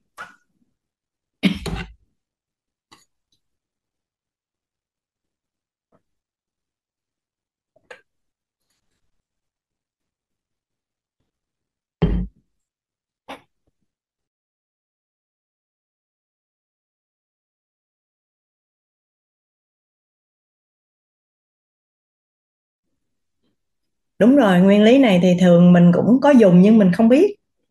Và cao nhân thì chỉ điểm như vậy thôi chứ cũng không giải chiêu toàn bộ. Và thầy mất 9 năm để giải ra cái nguyên lý này cả nhà. Và rất là nhiều thầy cô học nguyên lý này xong, sau về dạy cho học trò là hỏi coi học trò của mình biết cái gì trước. Và khi cái chỗ nào mà học trò biết rồi á, thì dựa vào cái biết đó tiếp tục nói, tiếp tục nói, từ từ từ từ, thì người học trò rất là thích nghe và giáo viên cũng không có cảm thấy uh, cái này minh xin lỗi nha. Uh, không có ý gì cả nhưng mà thường thường giáo viên mà dạy hoài học trò không biết á, sẽ giận lên nói không biết sao học trò ngu quá dạy hoài không biết. Ờ, không mình không có ý gì nha cũng không có phải mạo phạm mà dùng cái chữ đó nhưng mà thông thường sẽ có cái tâm lý đó. Và nếu chúng ta ứng dụng nguyên lý này thì không còn cái câu có cái học trò nào ngu nữa cả. Mà chúng ta biết cái cách lấy cái biết của học trò thì sao ạ? Thì sẽ giúp đỡ được à, đơn giản hơn rất là nhiều. Và làm sao để mà lấy được cái biết? Hồi nãy có chị hỏi mình đó. Làm sao lấy được cái biết?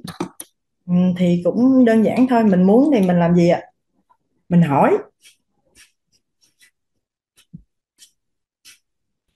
Mình hỏi nha cả nhà. Mình hỏi thì mới mới được chứ dạ chị Uyên ghi luôn hỏi cầu thị và khiêm tốn ha. Trời ơi, học giỏi quá vậy. Chút nữa chạy qua khoe với thầy là lớp này học giỏi cực kỳ. Dạ đúng rồi, mình hỏi thì mình phải cầu thị khiêm tốn. Cầu thị khiêm tốn. Thì người ta sẽ nói cho mình biết là người ta đang biết cái gì. Cầu thị khiêm tốn nha cả nhà.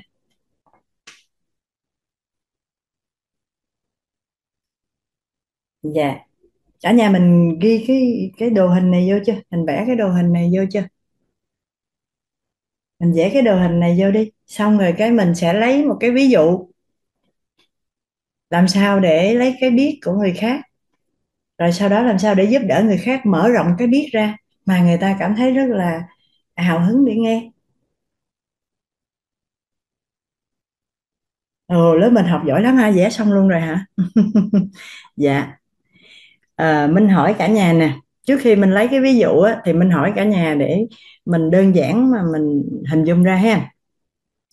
Thông thường á ở đây á trong lớp của mình luôn nè ai có thì mình nói mình giao lưu với Minh ha. À, mình à, ví dụ như là mình bị ho đi. Mình bị ho. Mình ho cũng lâu ngày mà chưa có hết. Cái có một người tới chỉ cho mình quá trời cái cách để làm cho hết ho luôn. Mà người ta hoàn toàn không có hỏi là mình đã uống thuốc gì chưa à, mình đã có đi bác sĩ chưa mình đã điều trị trong bao nhiêu lâu hay cái gì chưa. Mà chỉ thấy mình ho là người ta tới người ta nói khí thế luôn và người nào gặp mình cũng chỉ thuốc ho hết luôn. Ở đây có ai gặp trường hợp đó chưa? Hoàng My hả? Bị ho hai tuần luôn hả? Rồi Hoàng My bị ho hai tuần luôn cả, cả nhà. Rồi ờ, có cách nào để làm cho hết ho không cả nhà?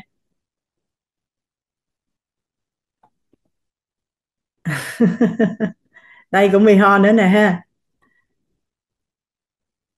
Ho là kêu ngậm tắt hả? tìm nguyên nhân hả?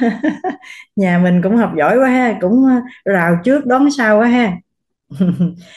Mình á, khi mình bị ho, mình bị ho ha, cái tất cả những phương pháp mà làm cho hết ho mình đã làm hết rồi. Bao gồm cả chích và uống kháng sinh mà nam, đông, tây, y, gì là mình làm hết. Nhưng mà cứ gặp mình là sẽ, sao mà để ho quá, trời quá đất vậy? Sao để lâu quá vậy? Không hết. Cái này á là tắt chân đường phèn uống là hết à. Ngày mai làm đi. Ngày nào lấy cho. Hai hũ tắt chân đường phèn nè uống là hết. Cái chưa kịp từ chối nữa là để hai hũ tắt ở đó. Xong. Rồi ho cỡ này á là tắt cũng không có sao không có nhầm gì đâu. Đi lấy cánh kiến á cánh kiến chân à, uống là hết. Rồi cái chồi quát hương là uống là hết. Rồi cây thuốc dồi á, đâm chút muối uống là hết. Cây lẻ bạn chân với đường phèn uống là hết. Khế bông khế chân đường phèn uống là hết cái thế giới này có bao nhiêu thứ thuốc ho người ta dập vô người của mình hết? Ngày xưa chưa ăn học gì hết, mình cáo lên, làm hết rồi mà không có hết.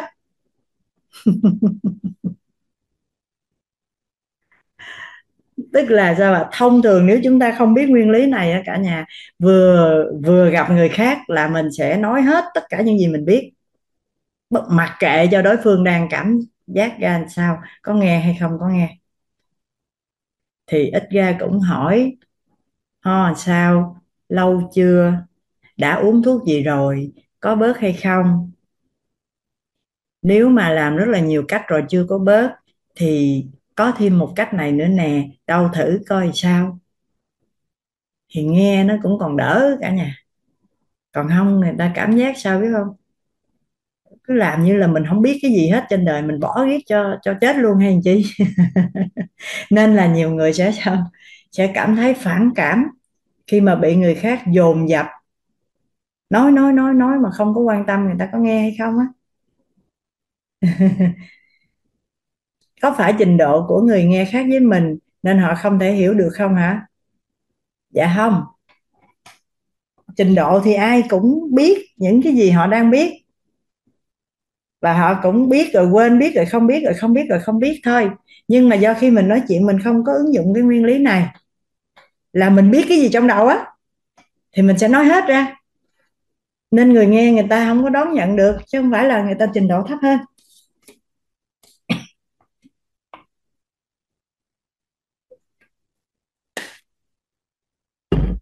Ho, ba, bốn tháng không ai nói gì, tự nhiên hết luôn hả? Phạm khánh có phước báo quá ha.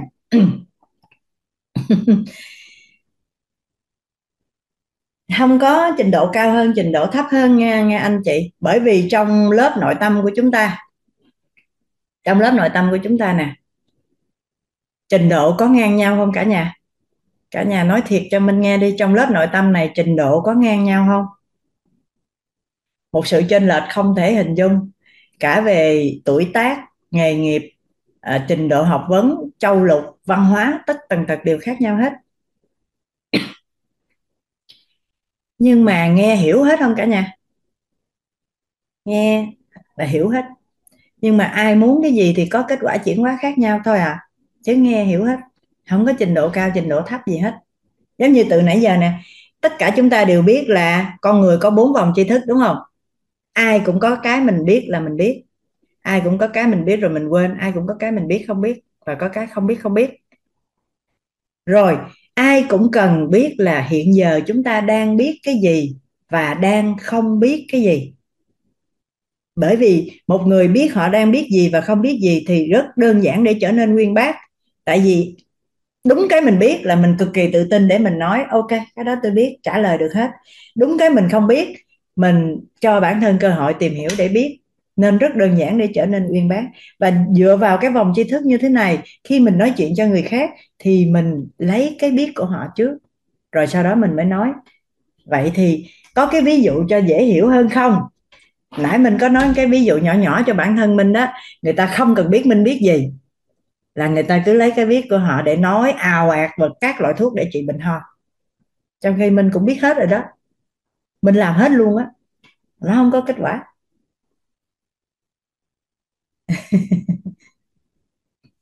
trời ơi, có người còn hỏi về đây.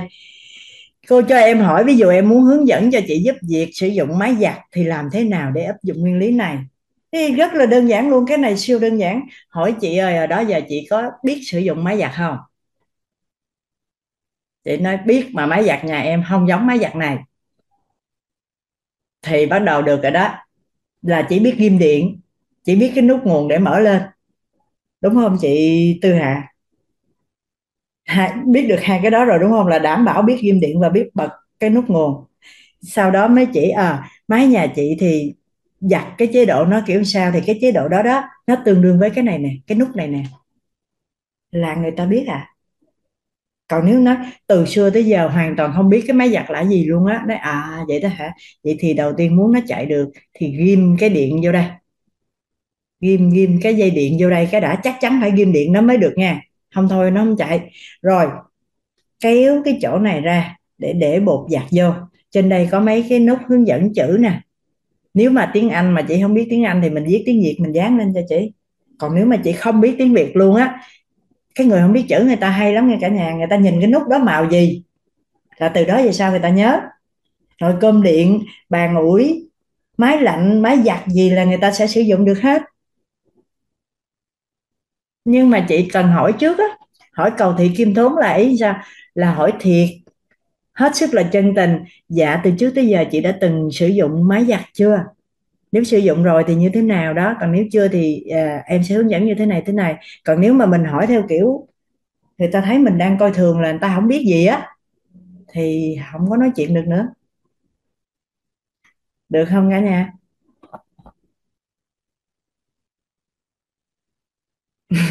chị Kim Chiêu hướng dẫn nè mình cài sẵn luôn mình cài sẵn luôn người ta xài thôi. Bất cứ cái gì luôn á mình cứ hỏi thôi mình cứ đơn giản mình hỏi. Ví dụ nè mình hỏi cả nhà nè ở trong ở trong lớp của chúng ta hiện giờ ha ai à, cảm thấy là mình có hiểu biết về sức khỏe tương đối tốt có thể giao lưu được không ạ? Tức là mình tự mình thôi mình cảm thấy là mình cũng có những cái hiểu biết tương đối là cũng ổn về sức khỏe. Dạ à mình thấy có anh à, anh nha Cristiano nè chị Huế Nguyễn nữa nè. Nhưng mà anh nha anh đưa tay trước ha. Rồi à, em mời anh nha đi. Dạ thì trước giờ là anh nha có có làm cái lĩnh vực à, liên quan tới sức khỏe không anh? Tức là làm những cái như là chia sẻ đứng lớp hay là làm các cái công tác gì liên quan tới sức khỏe không anh nha? Dạ, biết ơn cô Minh, à, dạ. biết ơn cả nhà. Dạ, xin chào cô Minh, chào cả nhà. dạ. À, Nhã giới thiệu chút xíu, Nhã là à, Phúc Nhã đến từ Phan Thiết Bình Thuận, là mentor K02 ạ. à là mentor K02 ha. Nhưng mà anh anh Nhã ha. À, anh Nhã có phải là chuyên gia về dinh dưỡng sức khỏe hay là có làm công tác gì liên quan tới sức khỏe không Dạ, à, em đã từng là health coach cho cô, bây giờ vẫn đang là à. health coach. À, tốt vậy là chúng ta đang gặp một cái người mà sẽ có rất nhiều hiểu biết về sức khỏe đúng không ạ? Dạ, Vậy nếu như mà mình gặp anh Nhã mà mình nói sức khỏe là cái gì cái gì cái gì? Hồi cái anh ngồi anh cười nói tôi biết hết rồi tôi là health coach. Đúng chưa? Đúng chưa? Dạ, đó cho nên mình đầu tiên mình phải hỏi thăm coi anh Nhã có đang làm cái lĩnh vực gì hay không và nói là health coach thì chúng ta hiểu là gì? Đây là một người huấn luyện viên về sức khỏe cho người khác. Nên cái hiểu biết về sức khỏe nó phải là tương đối tốt. Đủ cái chuẩn mới được gọi là health coach, đúng không ạ? Vậy thì anh Nhã có thể giao lưu với cả nhà. Thì những, theo như những gì mà anh Nhã từng chia sẻ cho người khác á, thì sức khỏe là là gì được không ạ? Dạ. À, theo khái niệm của Tổ chức Y tế Thế giới thì à, sức khỏe sức khỏe là một à, trạng thái thoải mái về thể chất, tinh thần và xã hội. à tức là theo như anh Nhã nói nè thì sức khỏe sẽ có tinh thần đúng không? Tinh thần.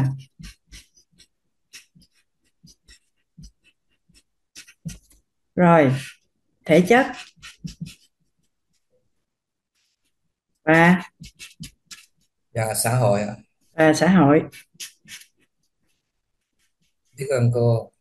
dạ biết ơn anh Nhã rất là nhiều vậy thì thông thường á có phải người ta hay nói là để cho có sức khỏe tốt thì mình cần phải giữ cho tinh, tinh thần của mình à, thoải mái để cho mình khỏe đúng không ạ à?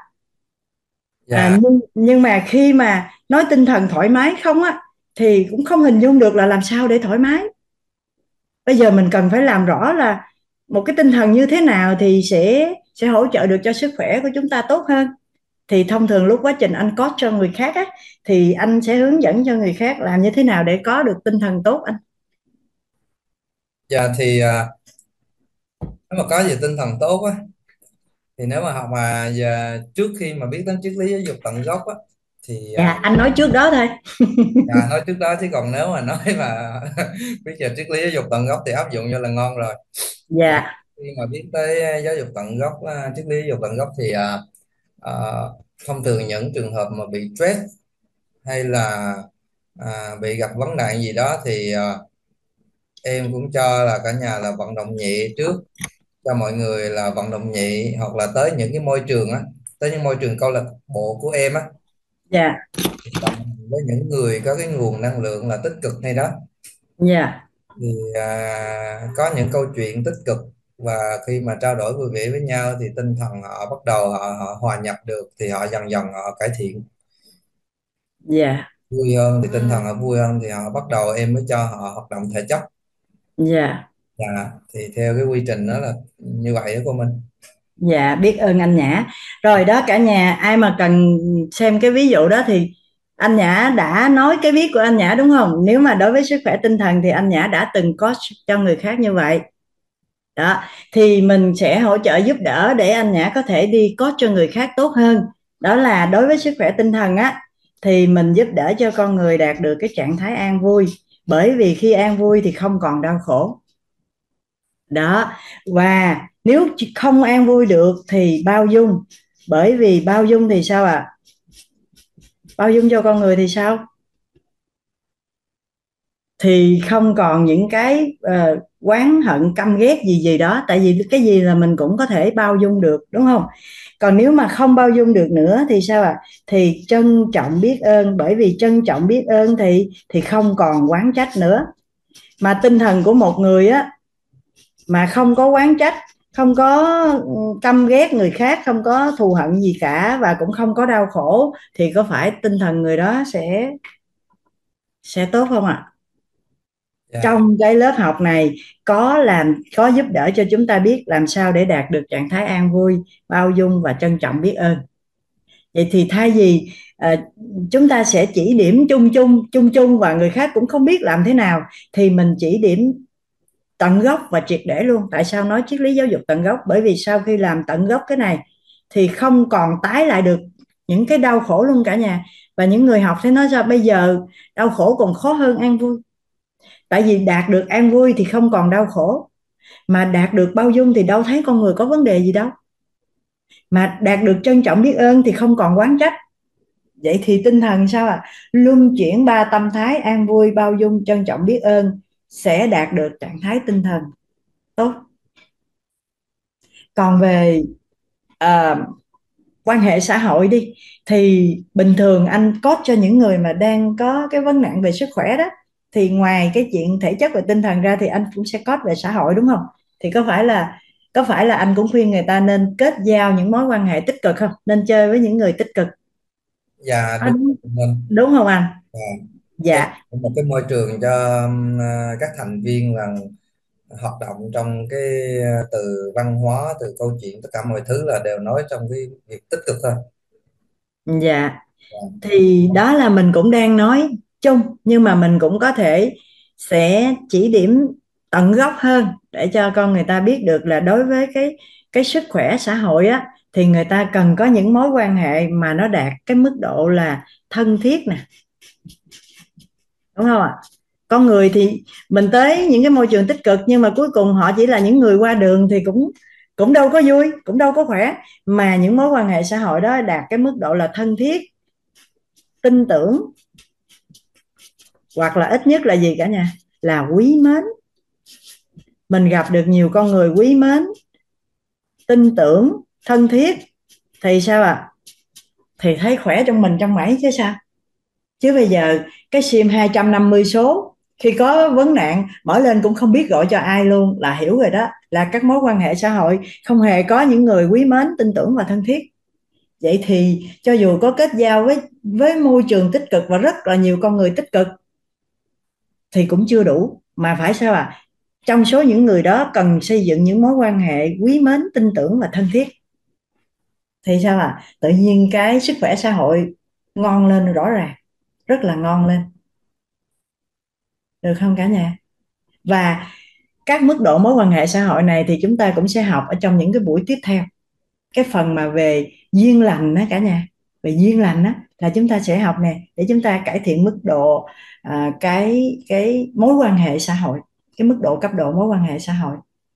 Còn về thể chất á, thì à, anh nhã không có nói chuyện nữa nên đâu cái hình đi đâu rồi không nhìn thấy.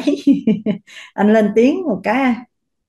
Alo dạ em đây ạ. À. cô Minh nghe rõ à, không ạ? Dạ đó thì nói chuyện là nó sẽ hiện lên ha. Rồi đối với thể chất thì có phải thông thường thì mình cũng sẽ khuyên những người có sức khỏe không tốt là nên có những cái vận động phù hợp với sức khỏe của mình đúng không ạ? Dạ đúng cô. Có à. những buổi những cái lớp những cái giờ nào đó cho tùy theo mỗi người có cái sức khỏe phù hợp để vận động phù hợp dạ. Thì sau này anh coach về sức khỏe đó, cái anh cho người ta luôn cái biết là đối với thể chất thì làm sao cần phải có sức mạnh nè. Thì anh sẽ tìm những cái bài tập nào mà để tăng được cái sức mạnh nè. Sức mạnh ha. Rồi, sức bền nè. Sức mạnh rồi sức bền. Sức mạnh, sức bền. Rồi độ dẻo dai nè. Độ dẻo dai. Rồi thăng bằng.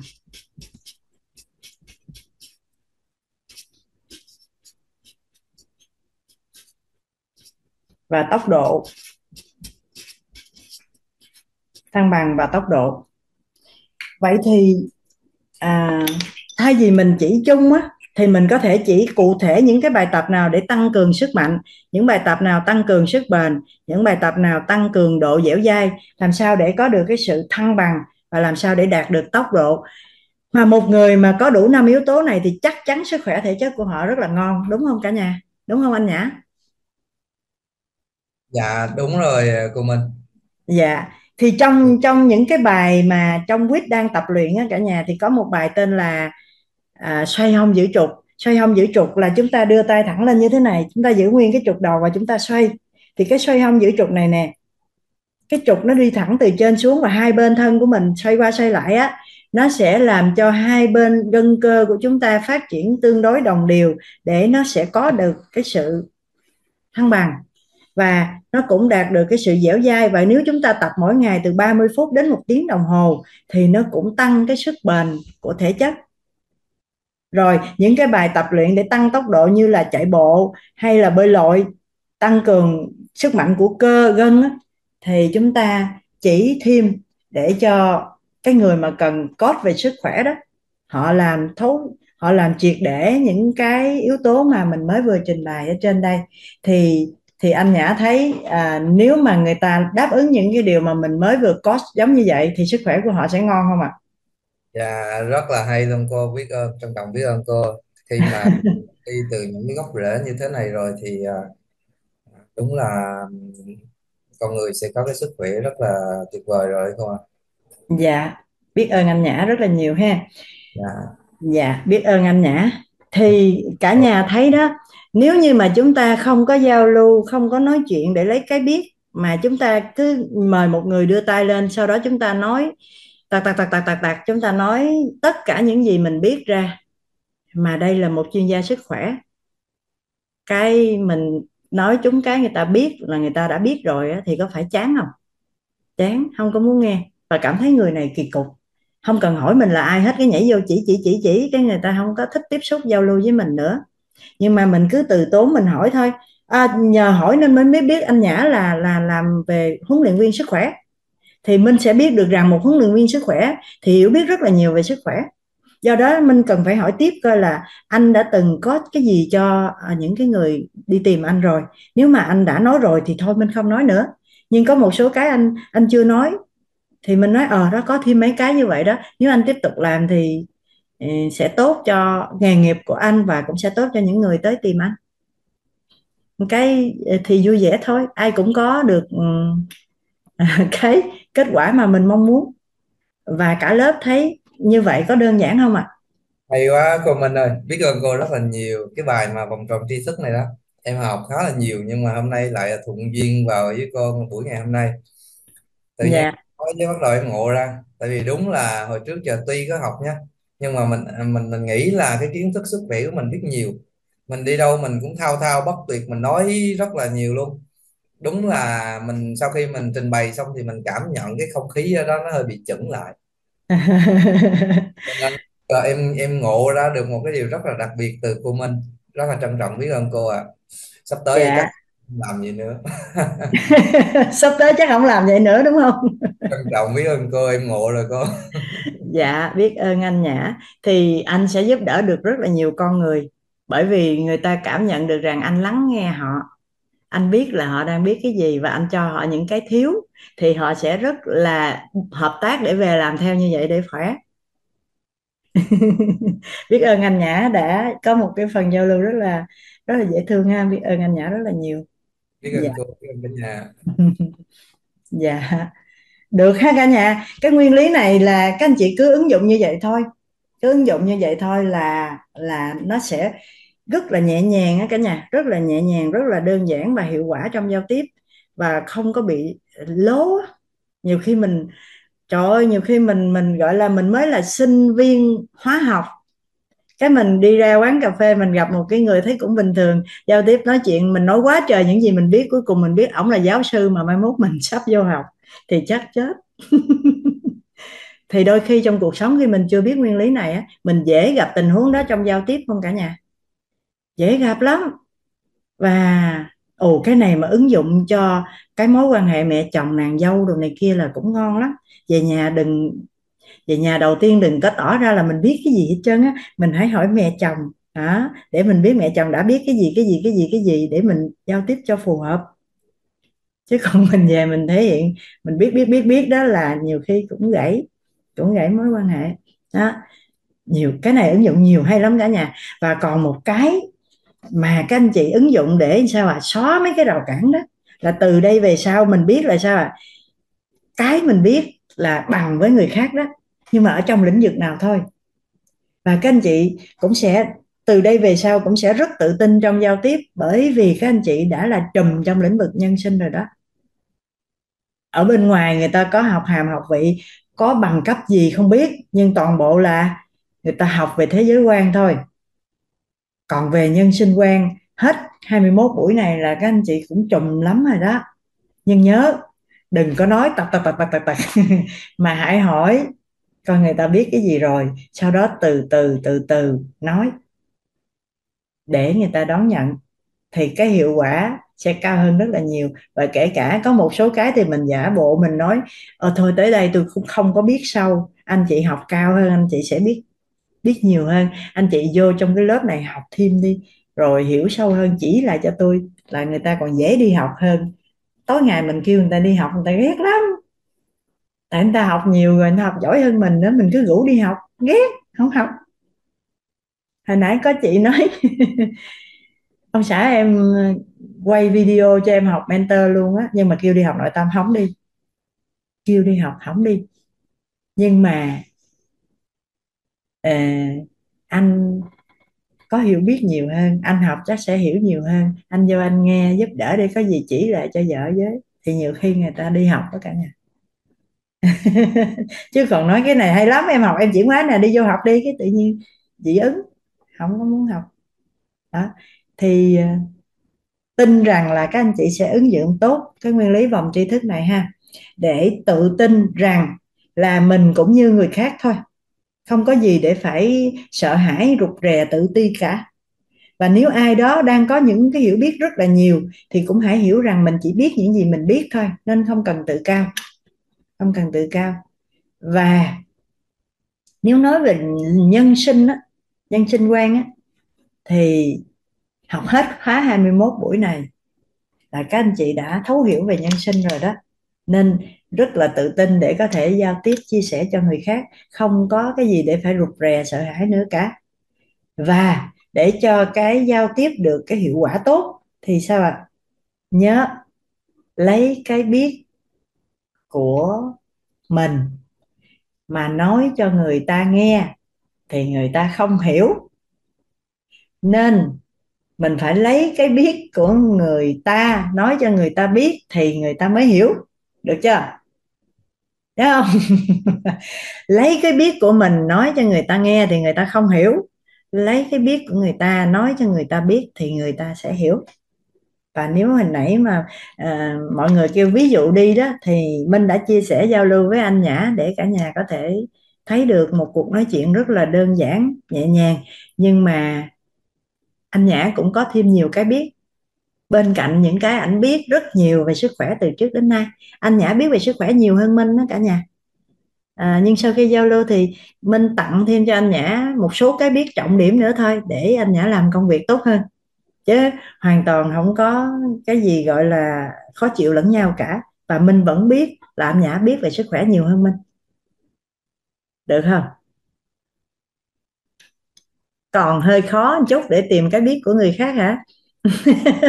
mình muốn người ta mình muốn biết người ta biết cái gì á thì mình hỏi trực tiếp thôi. Mình hỏi trực tiếp thôi chứ đâu có làm gì đâu mà khó. Anh Nhã muốn chia sẻ thêm hả? Dạ. Dạ. Anh Nhã nói đi. Dạ. Ơn cô Minh đã gọi tên biết ơn cả nhà đã bao dung lắng nghe à, đúng là học rất là nhiều khói nha cả nhà mình chia sẻ cái hiện thực. Thì sau khi trao đổi với cô Minh xong cái à, vòng tròn hiểu biết vừa vừa rồi á mình cảm nhận một cái cuộc nói chuyện nó nhẹ nhàng chắc cả nhà cũng cảm nhận được cái nguồn năng lượng đó. Mình cảm nhận được cái ừ, cuộc nói chuyện trao đổi và sức khỏe nó rất là nhẹ nhàng và nó nó nó nó, nó đi sâu vào trong uh, tâm trí luôn á. Có nghĩa là Nhã thì Nhã thuần về vấn đề là khái niệm về sức khỏe và những cái cái cái cái chương trình mà cost như thế nào và thể chất như thế nào Nhã cũng thuần về điều đó. Nhưng mà cô Minh bắt đầu cho mình cái tri thức gốc. Thì mình mình huân tập thêm mình biết thêm để mình tốt cho cái nghề nghiệp của mình thì nó rất là đặc biệt. Cho nên là tự nhiên giữa hai bên và xong rồi trong quá trình mà trao đổi hỏi qua như vậy á tự nhiên cái cuộc nói chuyện nó nó thấy nó rất là thích và nó thuận đó cô. À dạ. cả nhà cho nên thấy rất là như ý luôn hay lắm luôn. Tự nhiên dạ. qua cuộc chuyện với à, cô Minh làm cho em ngộ ra nhiều cái ghê luôn á. Cái này có thể áp dụng luôn cả cho à, công việc và các mối quan hệ. Có thể áp dụng luôn cả bốn khía cạnh trọng điểm của đời người luôn rất là tuyệt vời. Dạ hay lắm ạ. Dạ. Trân trọng biết ơn cả nhà đã lắng nghe biết ơn của mình biết rất là ơn anh Nhã ha biết ơn cả nhà. Thì à, dạ kỳ vọng là bốn cái nguyên lý mà chúng ta à, học mấy buổi nay á cả nhà. Thì à, cả nhà hãy à, luôn luôn nhớ, đó là bốn nguyên lý mà nếu chúng ta thuận theo thì cuộc đời giống như xuôi theo dòng nước. Mà mỗi lần thấy cuộc đời nó không xuôi theo dòng nước thì từ từ xem lại mình đang làm ngược nguyên lý nào rồi. Vậy thôi đó cả nhà. Rất là đơn giản như vậy thôi trong mối quan hệ xã hội, trong tài chính, trong sức khỏe, trong nội tâm, tự nhiên mình thấy có những cái không thoải mái, nặng nề, khó chịu, thì mình lập tức nhớ, có đi đúng bốn nguyên lý này chưa ta? Có đi đúng bốn cái nguyên lý này chưa? Nếu làm đúng thuận theo bốn nguyên lý này, thì nó không có xảy ra những cái vất vả, khó khăn ngược chiều đâu. Ha, cả nhà nhớ như vậy giúp mình sau khi chúng ta đã học bốn nguyên lý thứ nhất là nguyên lý ánh sáng thứ hai là nguyên lý kích hoạt não thứ ba là nguyên lý nghi vấn thuận chiều mong muốn và thứ tư là nguyên lý vòng tri thức. Cứ như thế mà ứng dụng thì chúng ta đang đang để cho cuộc đời của mình đi xuôi theo dòng nước. Có nghĩa là chúng ta đang thuận nguyên lý. À, còn quy luật thì đó là quy luật nhân quả. Mà nhân quả thì chúng ta sẽ quản trị nhân quả trong nhân sinh quan thôi và hết lộ trình này thì chúng ta sẽ thấu suốt nhân duyên quả. Nên là cái đó thì chưa chưa tới nhưng có trong lớp học này ha cả nhà? Các buổi này mình muốn xem lại á, thì mình sẽ vào cái kênh tổ chức đào tạo quýt ở Telegram. Sẽ có nghe lại ghi âm và có mấy cái slide này nè được chụp hình lại á cả nhà. À, có ghi âm và slide lại. Với lại chúng ta có thể vào quýt daily à, để chúng ta nghe lại ha. Dạ biết ơn cả nhà. Mình sẽ